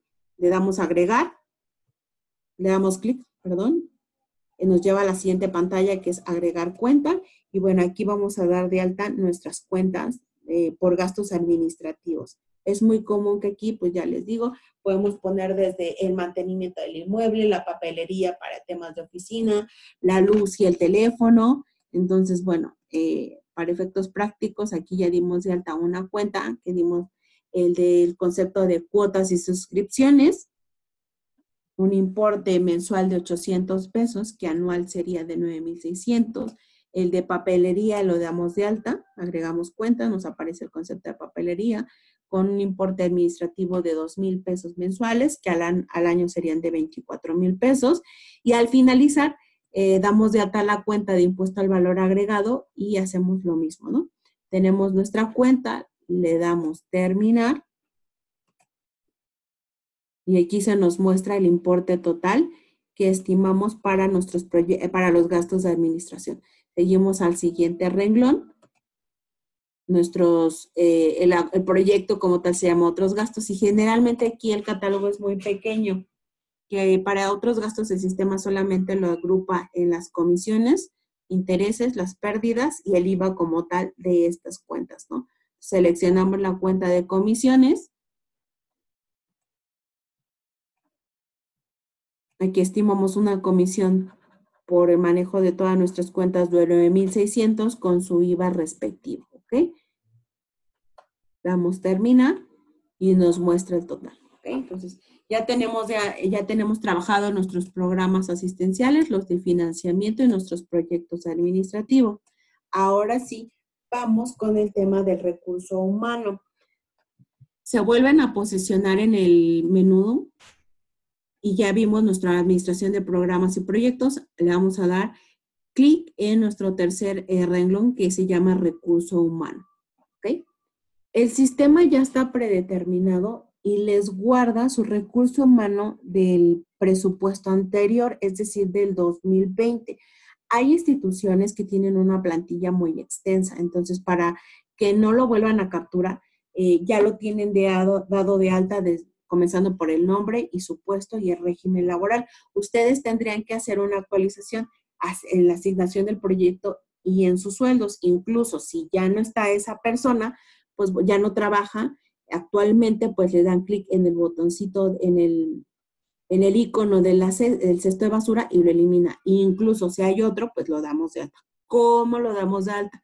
Ok, le damos clic en agregar recurso humano. El sistema te va a decir, ok, vas a tener recurso humano por tres conceptos, por sueldos, por honorarios y por voluntarios. En este caso vamos a dar de alta el primero que es por sueldos. ¿Ok?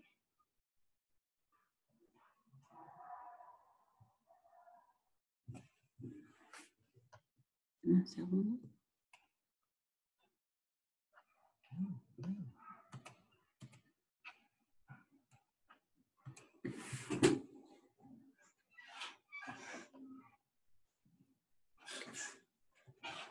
Vamos a entrar al que tenemos aquí.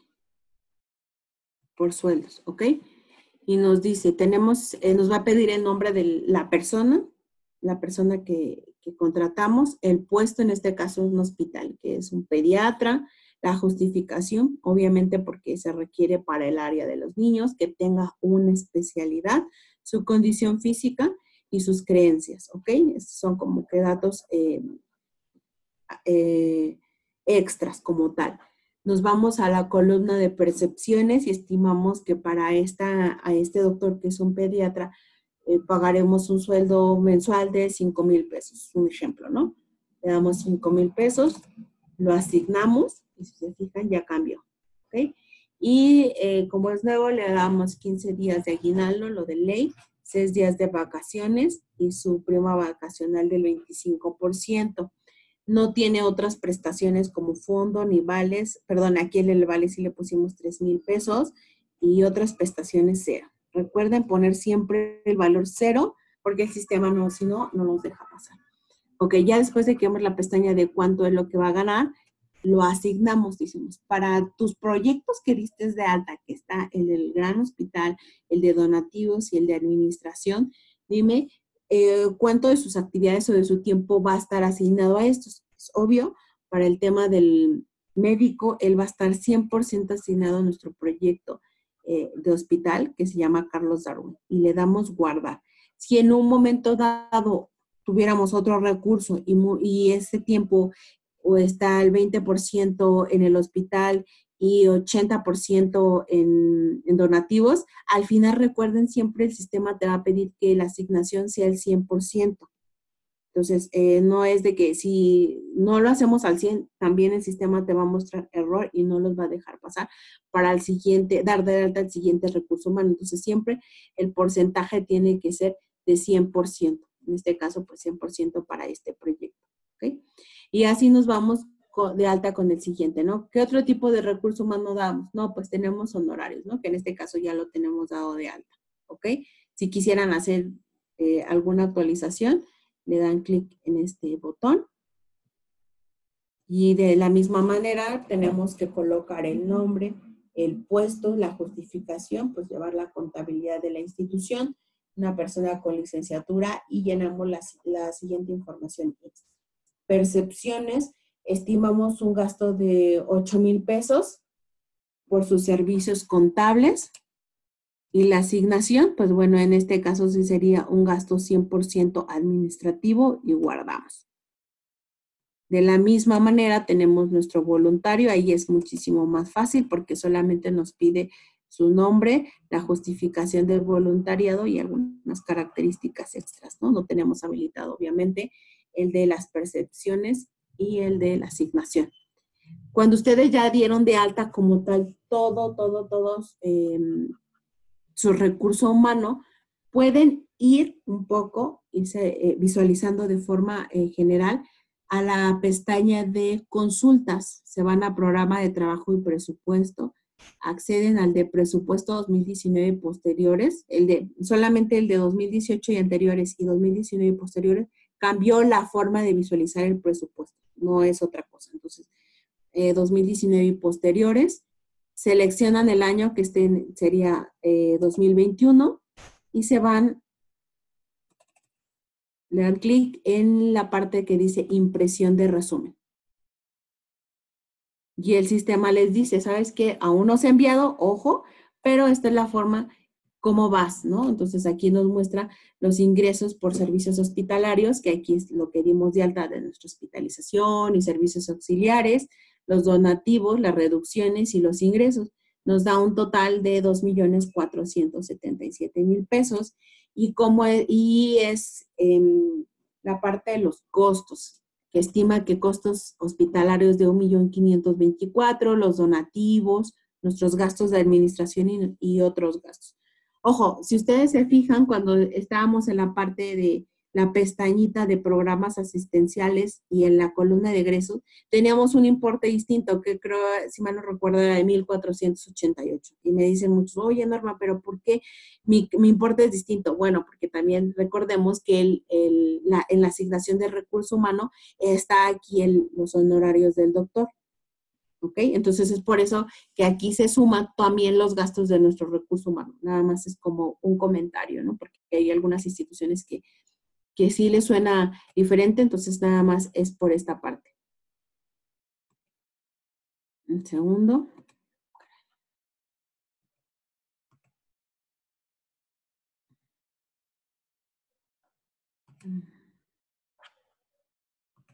Ok. Y ya, ok. Entonces volvemos a nuestra pestaña de aplicaciones. Programa de trabajo y presupuesto, captura, menú. Y ahora sí, vamos al cuarto renglón, que es el término y envío. El sistema nos permite hacer una validación previa y aquí nos dice, no se va a permitir porque se detectó que no incluiste prestaciones en tu proyecto. E incluso nos dice, en el proyecto del hospital no incluiste la prestación de impuestos sobre nómina. yo digo, ¿por qué? Suena lógico, porque obviamente yo asigné a mi doctor y, este, y si bien calculé el IMSS ¿qué crees? no incluí el tema del impuesto sobre nómina por él. Entonces doy clic en él o en el botoncito de acción y me lleva automáticamente a ese, a ese error que me muestra para completarlo. Si ustedes se fijan, yo ya había dado de alta previamente la cuenta de IMSS e Infonavit. Entonces buscamos aquí impuesto sobre nómina, agregamos la cuenta. El sistema no nos lo va a mandar en automático el primer concepto arriba, lo tenemos que buscar.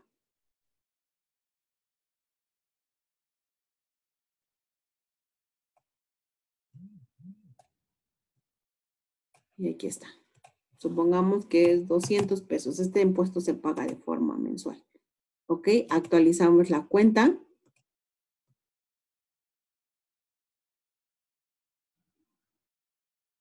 Y aquí ya tenemos, tenemos el importe de 2.400 anual que pagaríamos por esta persona. Le damos terminar. Ya no. Entonces volvemos al, al icono de menú, término y envío. Validamos el presupuesto y dice, no se, de- se detectaron algunas inconsistencias. Se ha detectado que no se presupuestó como ingreso, fíjense, el impuesto sobre nómina en sus proyectos de financiamiento. Ok. En este caso, no lo voy a justificar porque tiene eh, razón el presupuesto. Presupuesté el gasto, si ustedes se fijan, pero no el ingreso. Tiene mucha razón. Entonces me voy a mi proyecto de financiamiento, me voy a mi, a mi proyecto de reducción de contribuciones locales, agrego cuenta, busco impuestos sobre nóminas.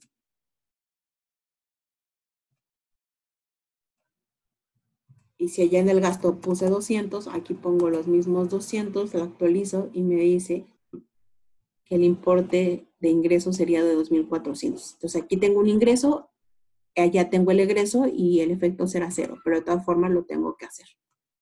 Menú, término y envío, valido mi presupuesto y ahora sí, el sistema me hace un resumen y me dice, ok, has concluido de forma satisfactoria, te doy un resumen en el cual eh, te muestro que tu población es de tanto, con tantos servicios que estimas proporcionar. Ok, continuamos con nuestro envío.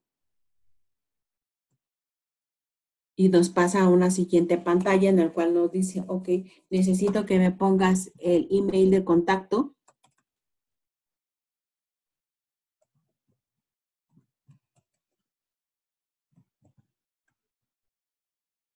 El usuario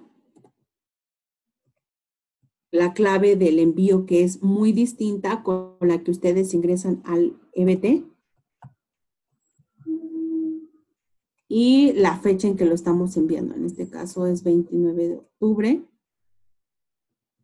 Y la persona que lo está enviando, supongamos que aquí es el tesorero.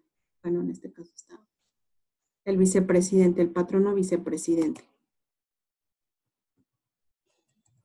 Observaciones y enviamos nuestro programa de trabajo.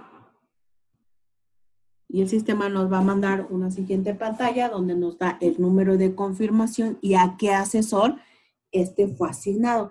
Este le sugerimos que lo impriman para cualquier eh, duda posterior, ¿ok? Y bueno, esto sería lo que tendríamos que hacer por la parte de los, eh, del llenado. Volvemos a ir a la pestaña de consultas programa de trabajo y presupuesto, presupuesto 2019 y posteriores. Le seleccionamos el año que sería 2021, impresión de resumen. Y aquí observamos que ya no tenemos la leyenda en rojo, ¿ok? Y eso es bien importante. Esta es la hoja que efectivamente ustedes van a imprimir y firmar y enviar, ya sea de forma presencial en la junta, obviamente con cita, y o de forma electrónica, ¿no? pero es muy importante que impriman esta hoja posterior al envío. Si lo hacen anterior y que le sale con la leyenda en rojo, nosotros no lo podemos tomar como válido, ¿no? Y ahí viene un requerimiento, lo que queremos. Con la documentación que ya la licenciada Bell eh, anteriormente les comentó, ¿ok?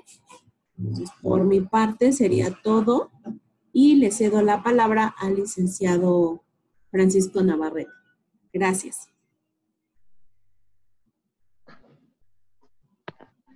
Eh, muy buenos días a todos. Eh, vamos a platicar un poquito sobre eh, los aspectos más importantes o relevantes que tienen que ustedes tomar en cuenta a la hora de celebrar su sesión o elaborar su acta. Primeramente, como lo he venido comentando en, en las anteriores pláticas, es importante que ustedes conozcan bien quién es el órgano facultado primero para aprobar el presupuesto.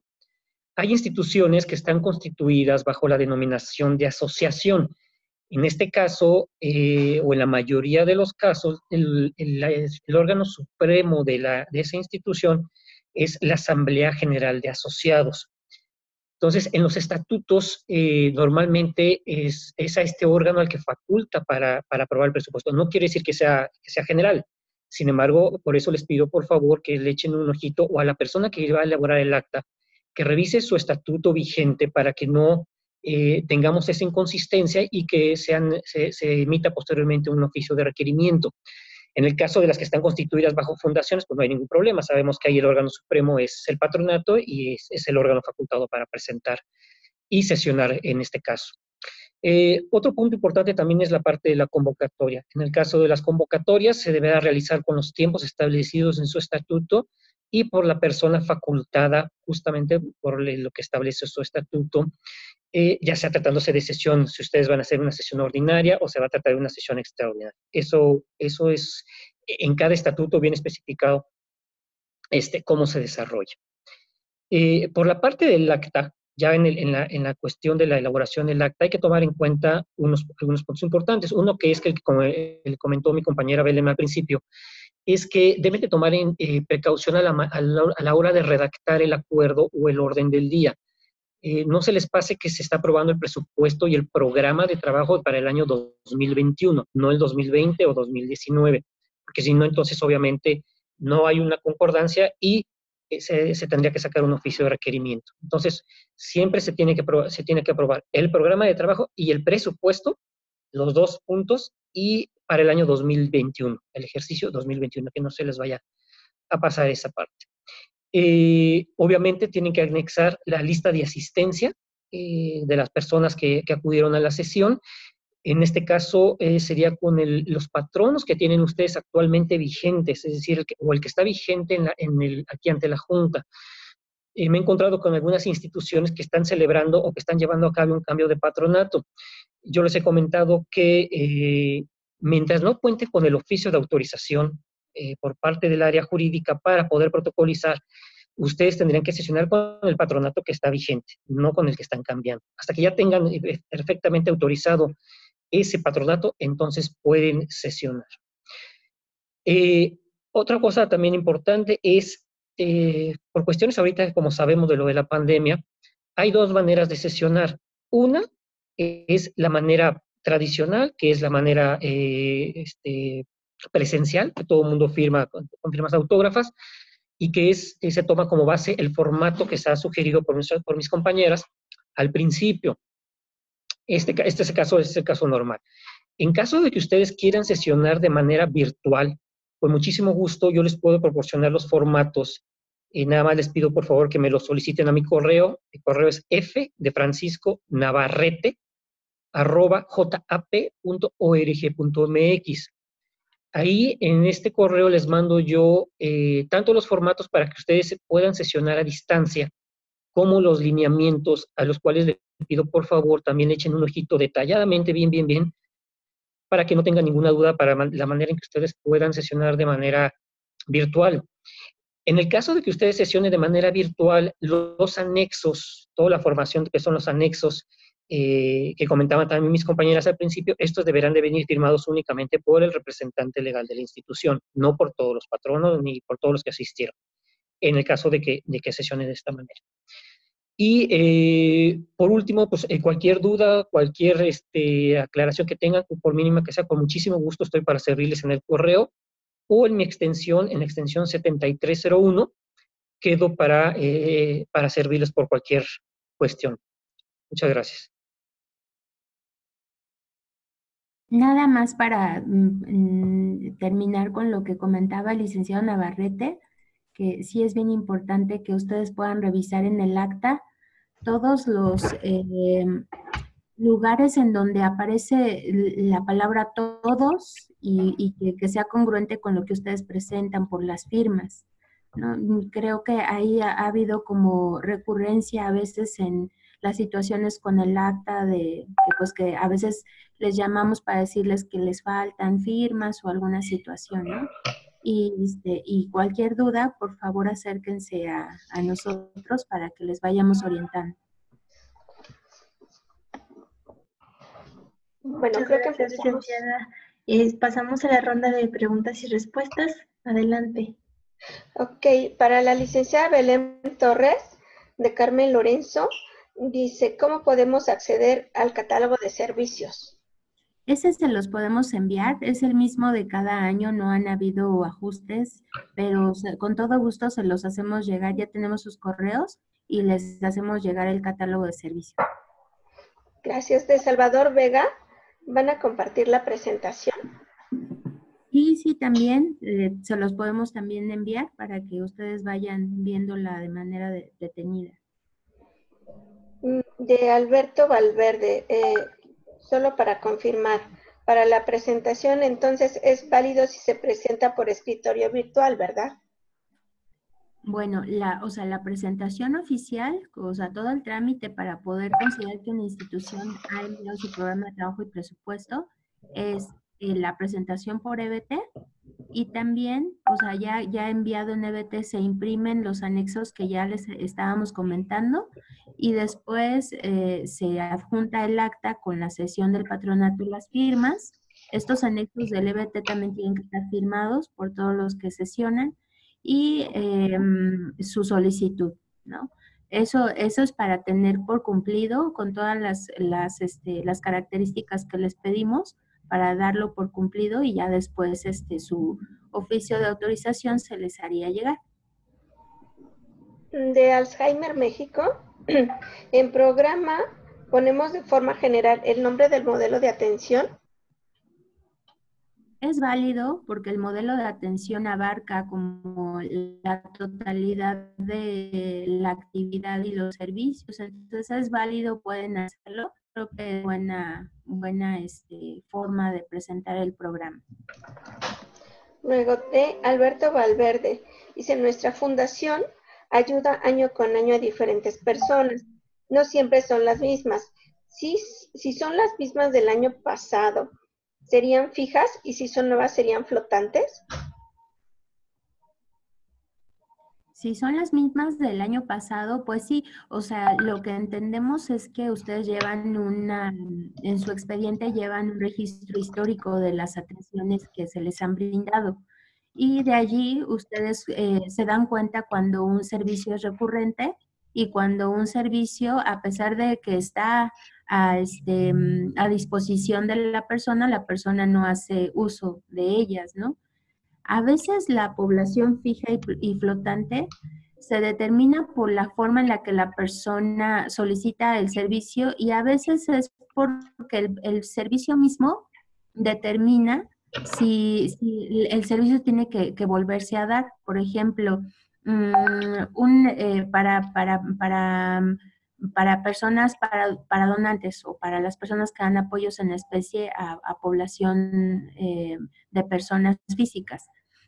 En este caso, por ejemplo, eh, yo determino que le voy a dar eh, mm, desayuno, o bueno, más bien eh, una bolsita con, un sándwich, una lechita y tal, a un grupo de niños que, mm, en cierto lugar, ¿no? Pero yo en mi plan ya no voy a volver a ir a esa comunidad o, a los pacientes que estaban el día 13 de febrero ya no voy a volver a hacerlo y a lo mejor los pacientes ahí pues van a ser otros, ¿no? Entonces esa es una población flotante.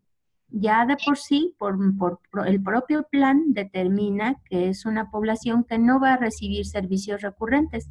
Cambiaría a, fija si yo meto a esa lista, meto a, una lista a esos niños y digo, a ellos 10 les voy a dar todos los lunes eh, su bolsita con su sándwich, ¿no? Es un ejemplo muy burdo, pero es como para que ustedes puedan comprender la diferencia, ¿no? Y puedan ir adaptándolo según sea el caso.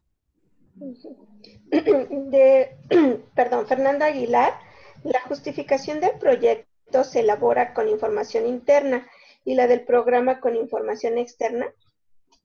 Sí, sí, e, exactamente. El programa, como es el, el gran paraguas, decíamos, y presenta la problemática, podemos hacer uso de información externa, que son las fuentes de información oficial que habíamos platicado, en donde puedo hacer uso de, de INEGI, de la Secretaría de Salud, de todos los que pueden presentar cifras y presento el porqué de esta necesidad tan apremiante o tan relevante y, para cubrir ese derecho a la salud, ¿no? Y en el proyecto, esa información interna, ya voy haciendo zoom a mi, a mi camarita y en este, en este zoom ya determino, ya presento las características específicas de la población que ha acudido a atenderlo y que puedo tener como esa riqueza de información en los expedientes de, de, mi misma población. ¿no? Ahí podemos jugar con estadísticas también, presentar números. Por ejemplo, recuerdo eh, AMAN presenta una estadística general de su población, hace todo un diagnóstico de, de todas las, eh, de la condición de la población en diferentes eh, características, la económica, la social, donde viven. Ustedes pueden jugar con esa información y pueden sacar provecho de todo eso y también lo pueden ir actualizando cada año, ¿no? Eh, eh, una última de Cintia Tobar. ¿Se tendrían que enviar todas las hojas firmadas del programa de trabajo y presupuesto 2021 al correo habilitado como oficialía de partes? Porque este sería muy pesado.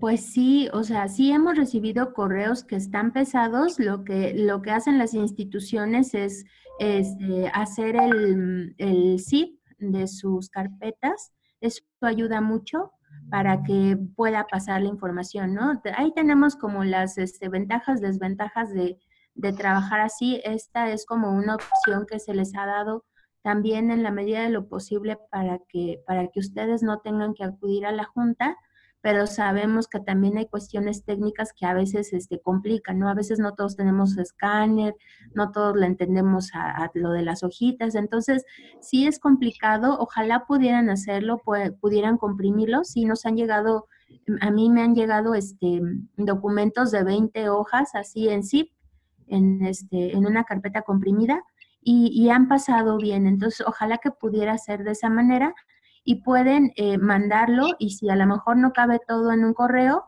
mandar en otro correo, pero poner allí que pues es en alcance al correo de tal institución, o sea, todo bien, bien, este, ¿cómo se dice? Como para que estemos eh, identificando qué es la información de la institución y no haya mayor problema.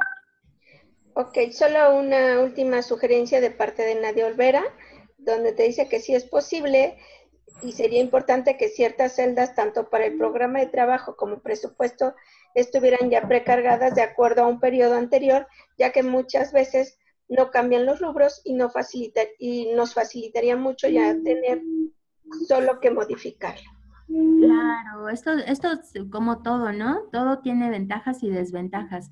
Como es un ejercicio anual, mm, o sea, sabemos que hay muchas cosas que, se repiten, pues porque justamente somos una institución que de manera formal y definida está llevando a cabo regularmente los mismos proyectos asistenciales con sus servicios, salvo que haya algún ajuste y que este, se determine otra estrategia para la atención o para poder cumplir con el objetivo. El asunto ahí es que eh, cuando dejamos a veces información ya precargada, las instituciones, no todas, pero muchas dan por buena esa información y ya no actualizan. Entonces creemos a veces que es mejor hacer este ejercicio de manera anual, es una vez al año, que ustedes puedan estar bien conscientes de todo lo que están cargando que también esa información ya está en sus documentos de trabajo y seguro hacen sus juntas de, equipo, de patronato para revisar cuáles van a ser como las expectativas para el año siguiente, pero en realidad creemos que hay como mayor eh, certeza y mayor este, mm, responsabilidad en que ustedes año con año de manera general presenten los contenidos que ustedes van a cargar el tema de recursos humanos sí ya está precargado porque sabemos que hay plantillas muy amplias y eh, las que no, pues a veces ajustan nada más nombres o, o si hay vacantes o alguna situación que se haya movido, pero lo que sí hemos considerado para beneficio de ustedes es que, puedan ustedes eh, tomar todas, eh, o sea, en toda su configuración, ustedes hacer el llenado para que también, como a veces el EBT tiene como recovecos y podemos pasar por alto alguno y decir, no, es que yo no sabía que eso estaba ya cargado y, nos lo perdimos, ¿no? Entonces es como una manera de ir mediando, pero de todas maneras lo tomamos en cuenta y les agradecemos. Eh, para la licenciada Belén son todas las preguntas. Para el licenciado Navarrete hay dos. Dice, con la pandemia y los protocolos de salud que prevalecen actualmente, no hay reuniones del patronato. ¿Será posible que el programa de trabajo y presupuesto 21, 2021 sea firmado por uno o dos patronos solamente? A ver, como lo comentamos, eh, si van a sesionar de manera virtual conforme a los formatos que, no va a ser presencialmente, los anexos deben de venir firmados únicamente por el representante legal de la institución. Si ustedes van a sesionar de manera presencial, entonces sí debería de venir firmado por la mayoría o por los que asistieron a la sesión. Pero entiendo que va, a sesionar de manera virtual, entonces con la firma del representante legal es más que suficiente. Gracias. De Nitzela de Luna, licenciado Navarrete, dice, ¿qué pasa si alguno de nuestros patronos ha fallecido?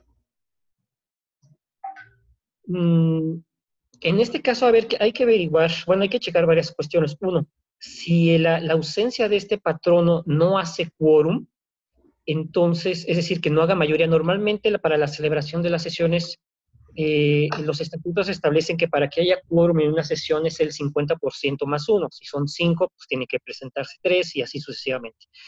Entonces, eh, si, si, no hace, si la falta de él no hace quórum, entonces yo creo que va a necesitar anexar una copia del acta de defunción y verificar lo más pronto posible con jurídico para que hagan este cambio en el, en el, en el directorio y este, se tenga entre, en, lo que ustedes escogen un nuevo patrono, se le dé por vacante ese cargo que tiene. Y de todas maneras, este, eh, nosotros lo tomamos como si fuera parte del quórum. Entonces, si le completo esta parte, y si no, con mucho gusto, eche una habladita y eh, si tiene alguna otra duda para, asesorarla directamente. Una última, ¿el plazo para la presentación sigue siendo el mismo o habrá una extensión? No, tengo entendido que es hasta el día primero de diciembre. Es el límite. Son todas, licenciado Navarrete. Las siguientes preguntas son para la contadora Norma Martínez. Sí. De Nadia Olvera, ¿qué pasa si nuestros ingresos son por donativos, arrendamiento e inversión? Y no por el proyecto en específico. Es decir, si no tenemos cuotas de recuperación, ¿qué ponemos entonces en ingresos? En la parte de su proyecto asistencial en ingresos lo dejan en cero, ni siquiera tocan esta columna. Ustedes se van directamente a la pestaña de proyectos de financiamiento, dan de alta como tal el proyecto que me acaba de decir de donativos, arrendamiento y cuotas, y cuando ya lo de alta se posicionan en esa columna de ingresos. Pero ustedes no tocan la parte de ingresos de sus proyectos asistenciales. O sea, ahí no, no pasa nada. Gracias.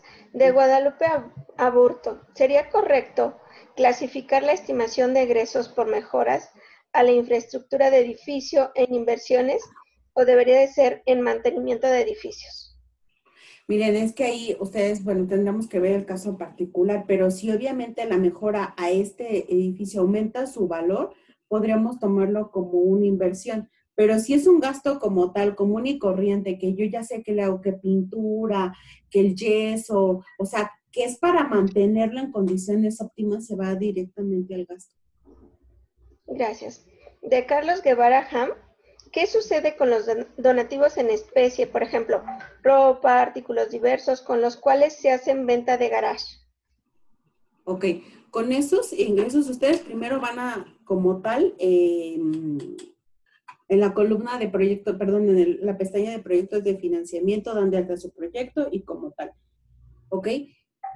Ustedes para, cuando tienen este que lo, re, así, no, quiero usar la palabra, si no obtienen ingresos para, como una cuota de recuperación, es decir, que tienen como un doble ingreso, pueden tomar la cuentita, eh, si ustedes se fijaron, el de agregar catálogo de cuenta dice otros ingresos, si mal no recuerdo, entonces seleccionan esa columnita y se hacen el sombrado, ¿no? Por ese, esa cuotita de recuperación, pero no lo van a poner dentro de su proyecto asistencial, sino volvemos a lo mismo dentro de la pestaña de proyectos de financiamiento.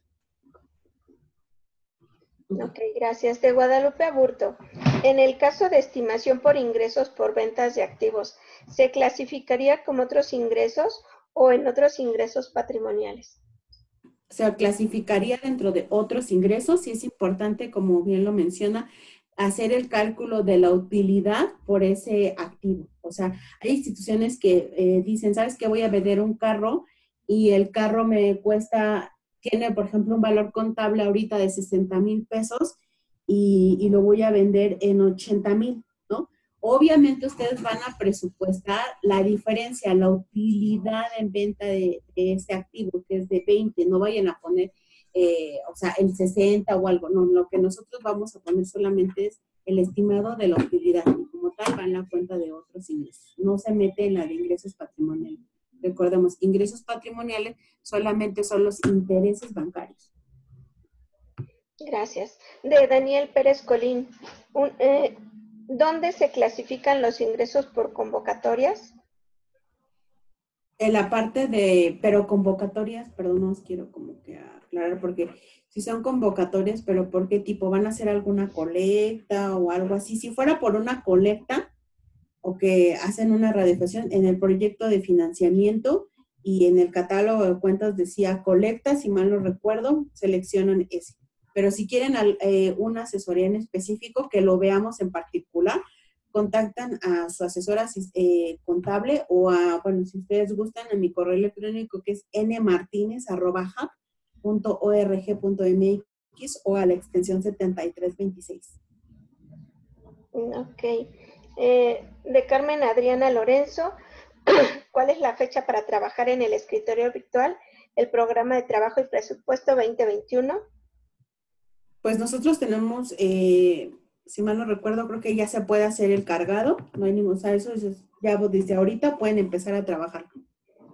Sí, y una última de Anelena Gómez, ¿de dónde sale la clave para el envío?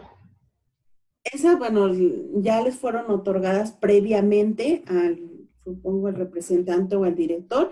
Sin embargo, si requieren volver a conocer esas claves que son personales, se les da por institución, tendrán que hacer, eh, solicitarlas y, y, bueno, yo ahí sí considero que contacten directamente a su asesor asistencial para una mayor información.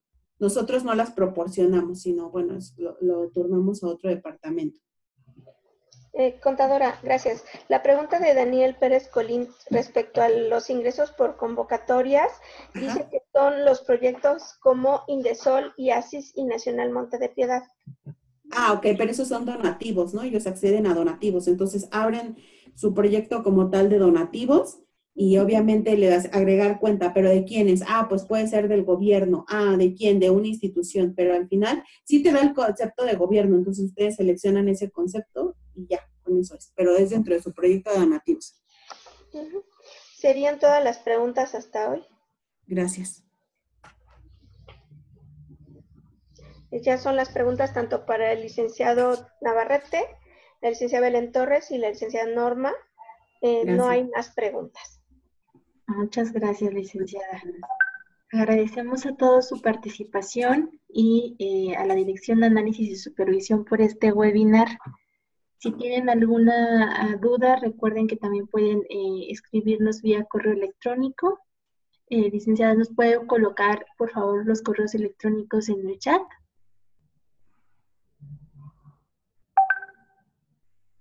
Muchas gracias. Y recuerden, les estaremos haciendo llegar eh, la presentación vía correo electrónico a las personas que se registraron en el sistema de capacitación, de quienes ya tenemos sus correos electrónicos.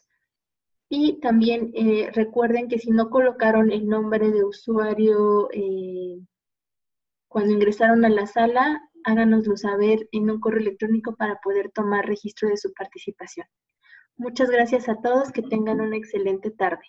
Gracias a todos por su participación. perdón, hay, hay una última pregunta. ¿Alguien escuchó la fecha límite para entregar el programa de trabajo y presupuesto cuando lo mencionó el licenciado Navarrete? ¿Me ¿Qué es repites la pregunta? No escuché muy bien. Eh, Nadia, dame un segundo. Nancy Beltrán no escuchó la fecha límite para entregar el programa de trabajo y presupuesto. Ah, es que es por ley ah, más tardar el primero de diciembre. Es todo, gracias. Gracias a todos por su participación. Gracias a todos. Hasta luego, gracias. Hasta luego, que tengan una excelente tarde. Gracias.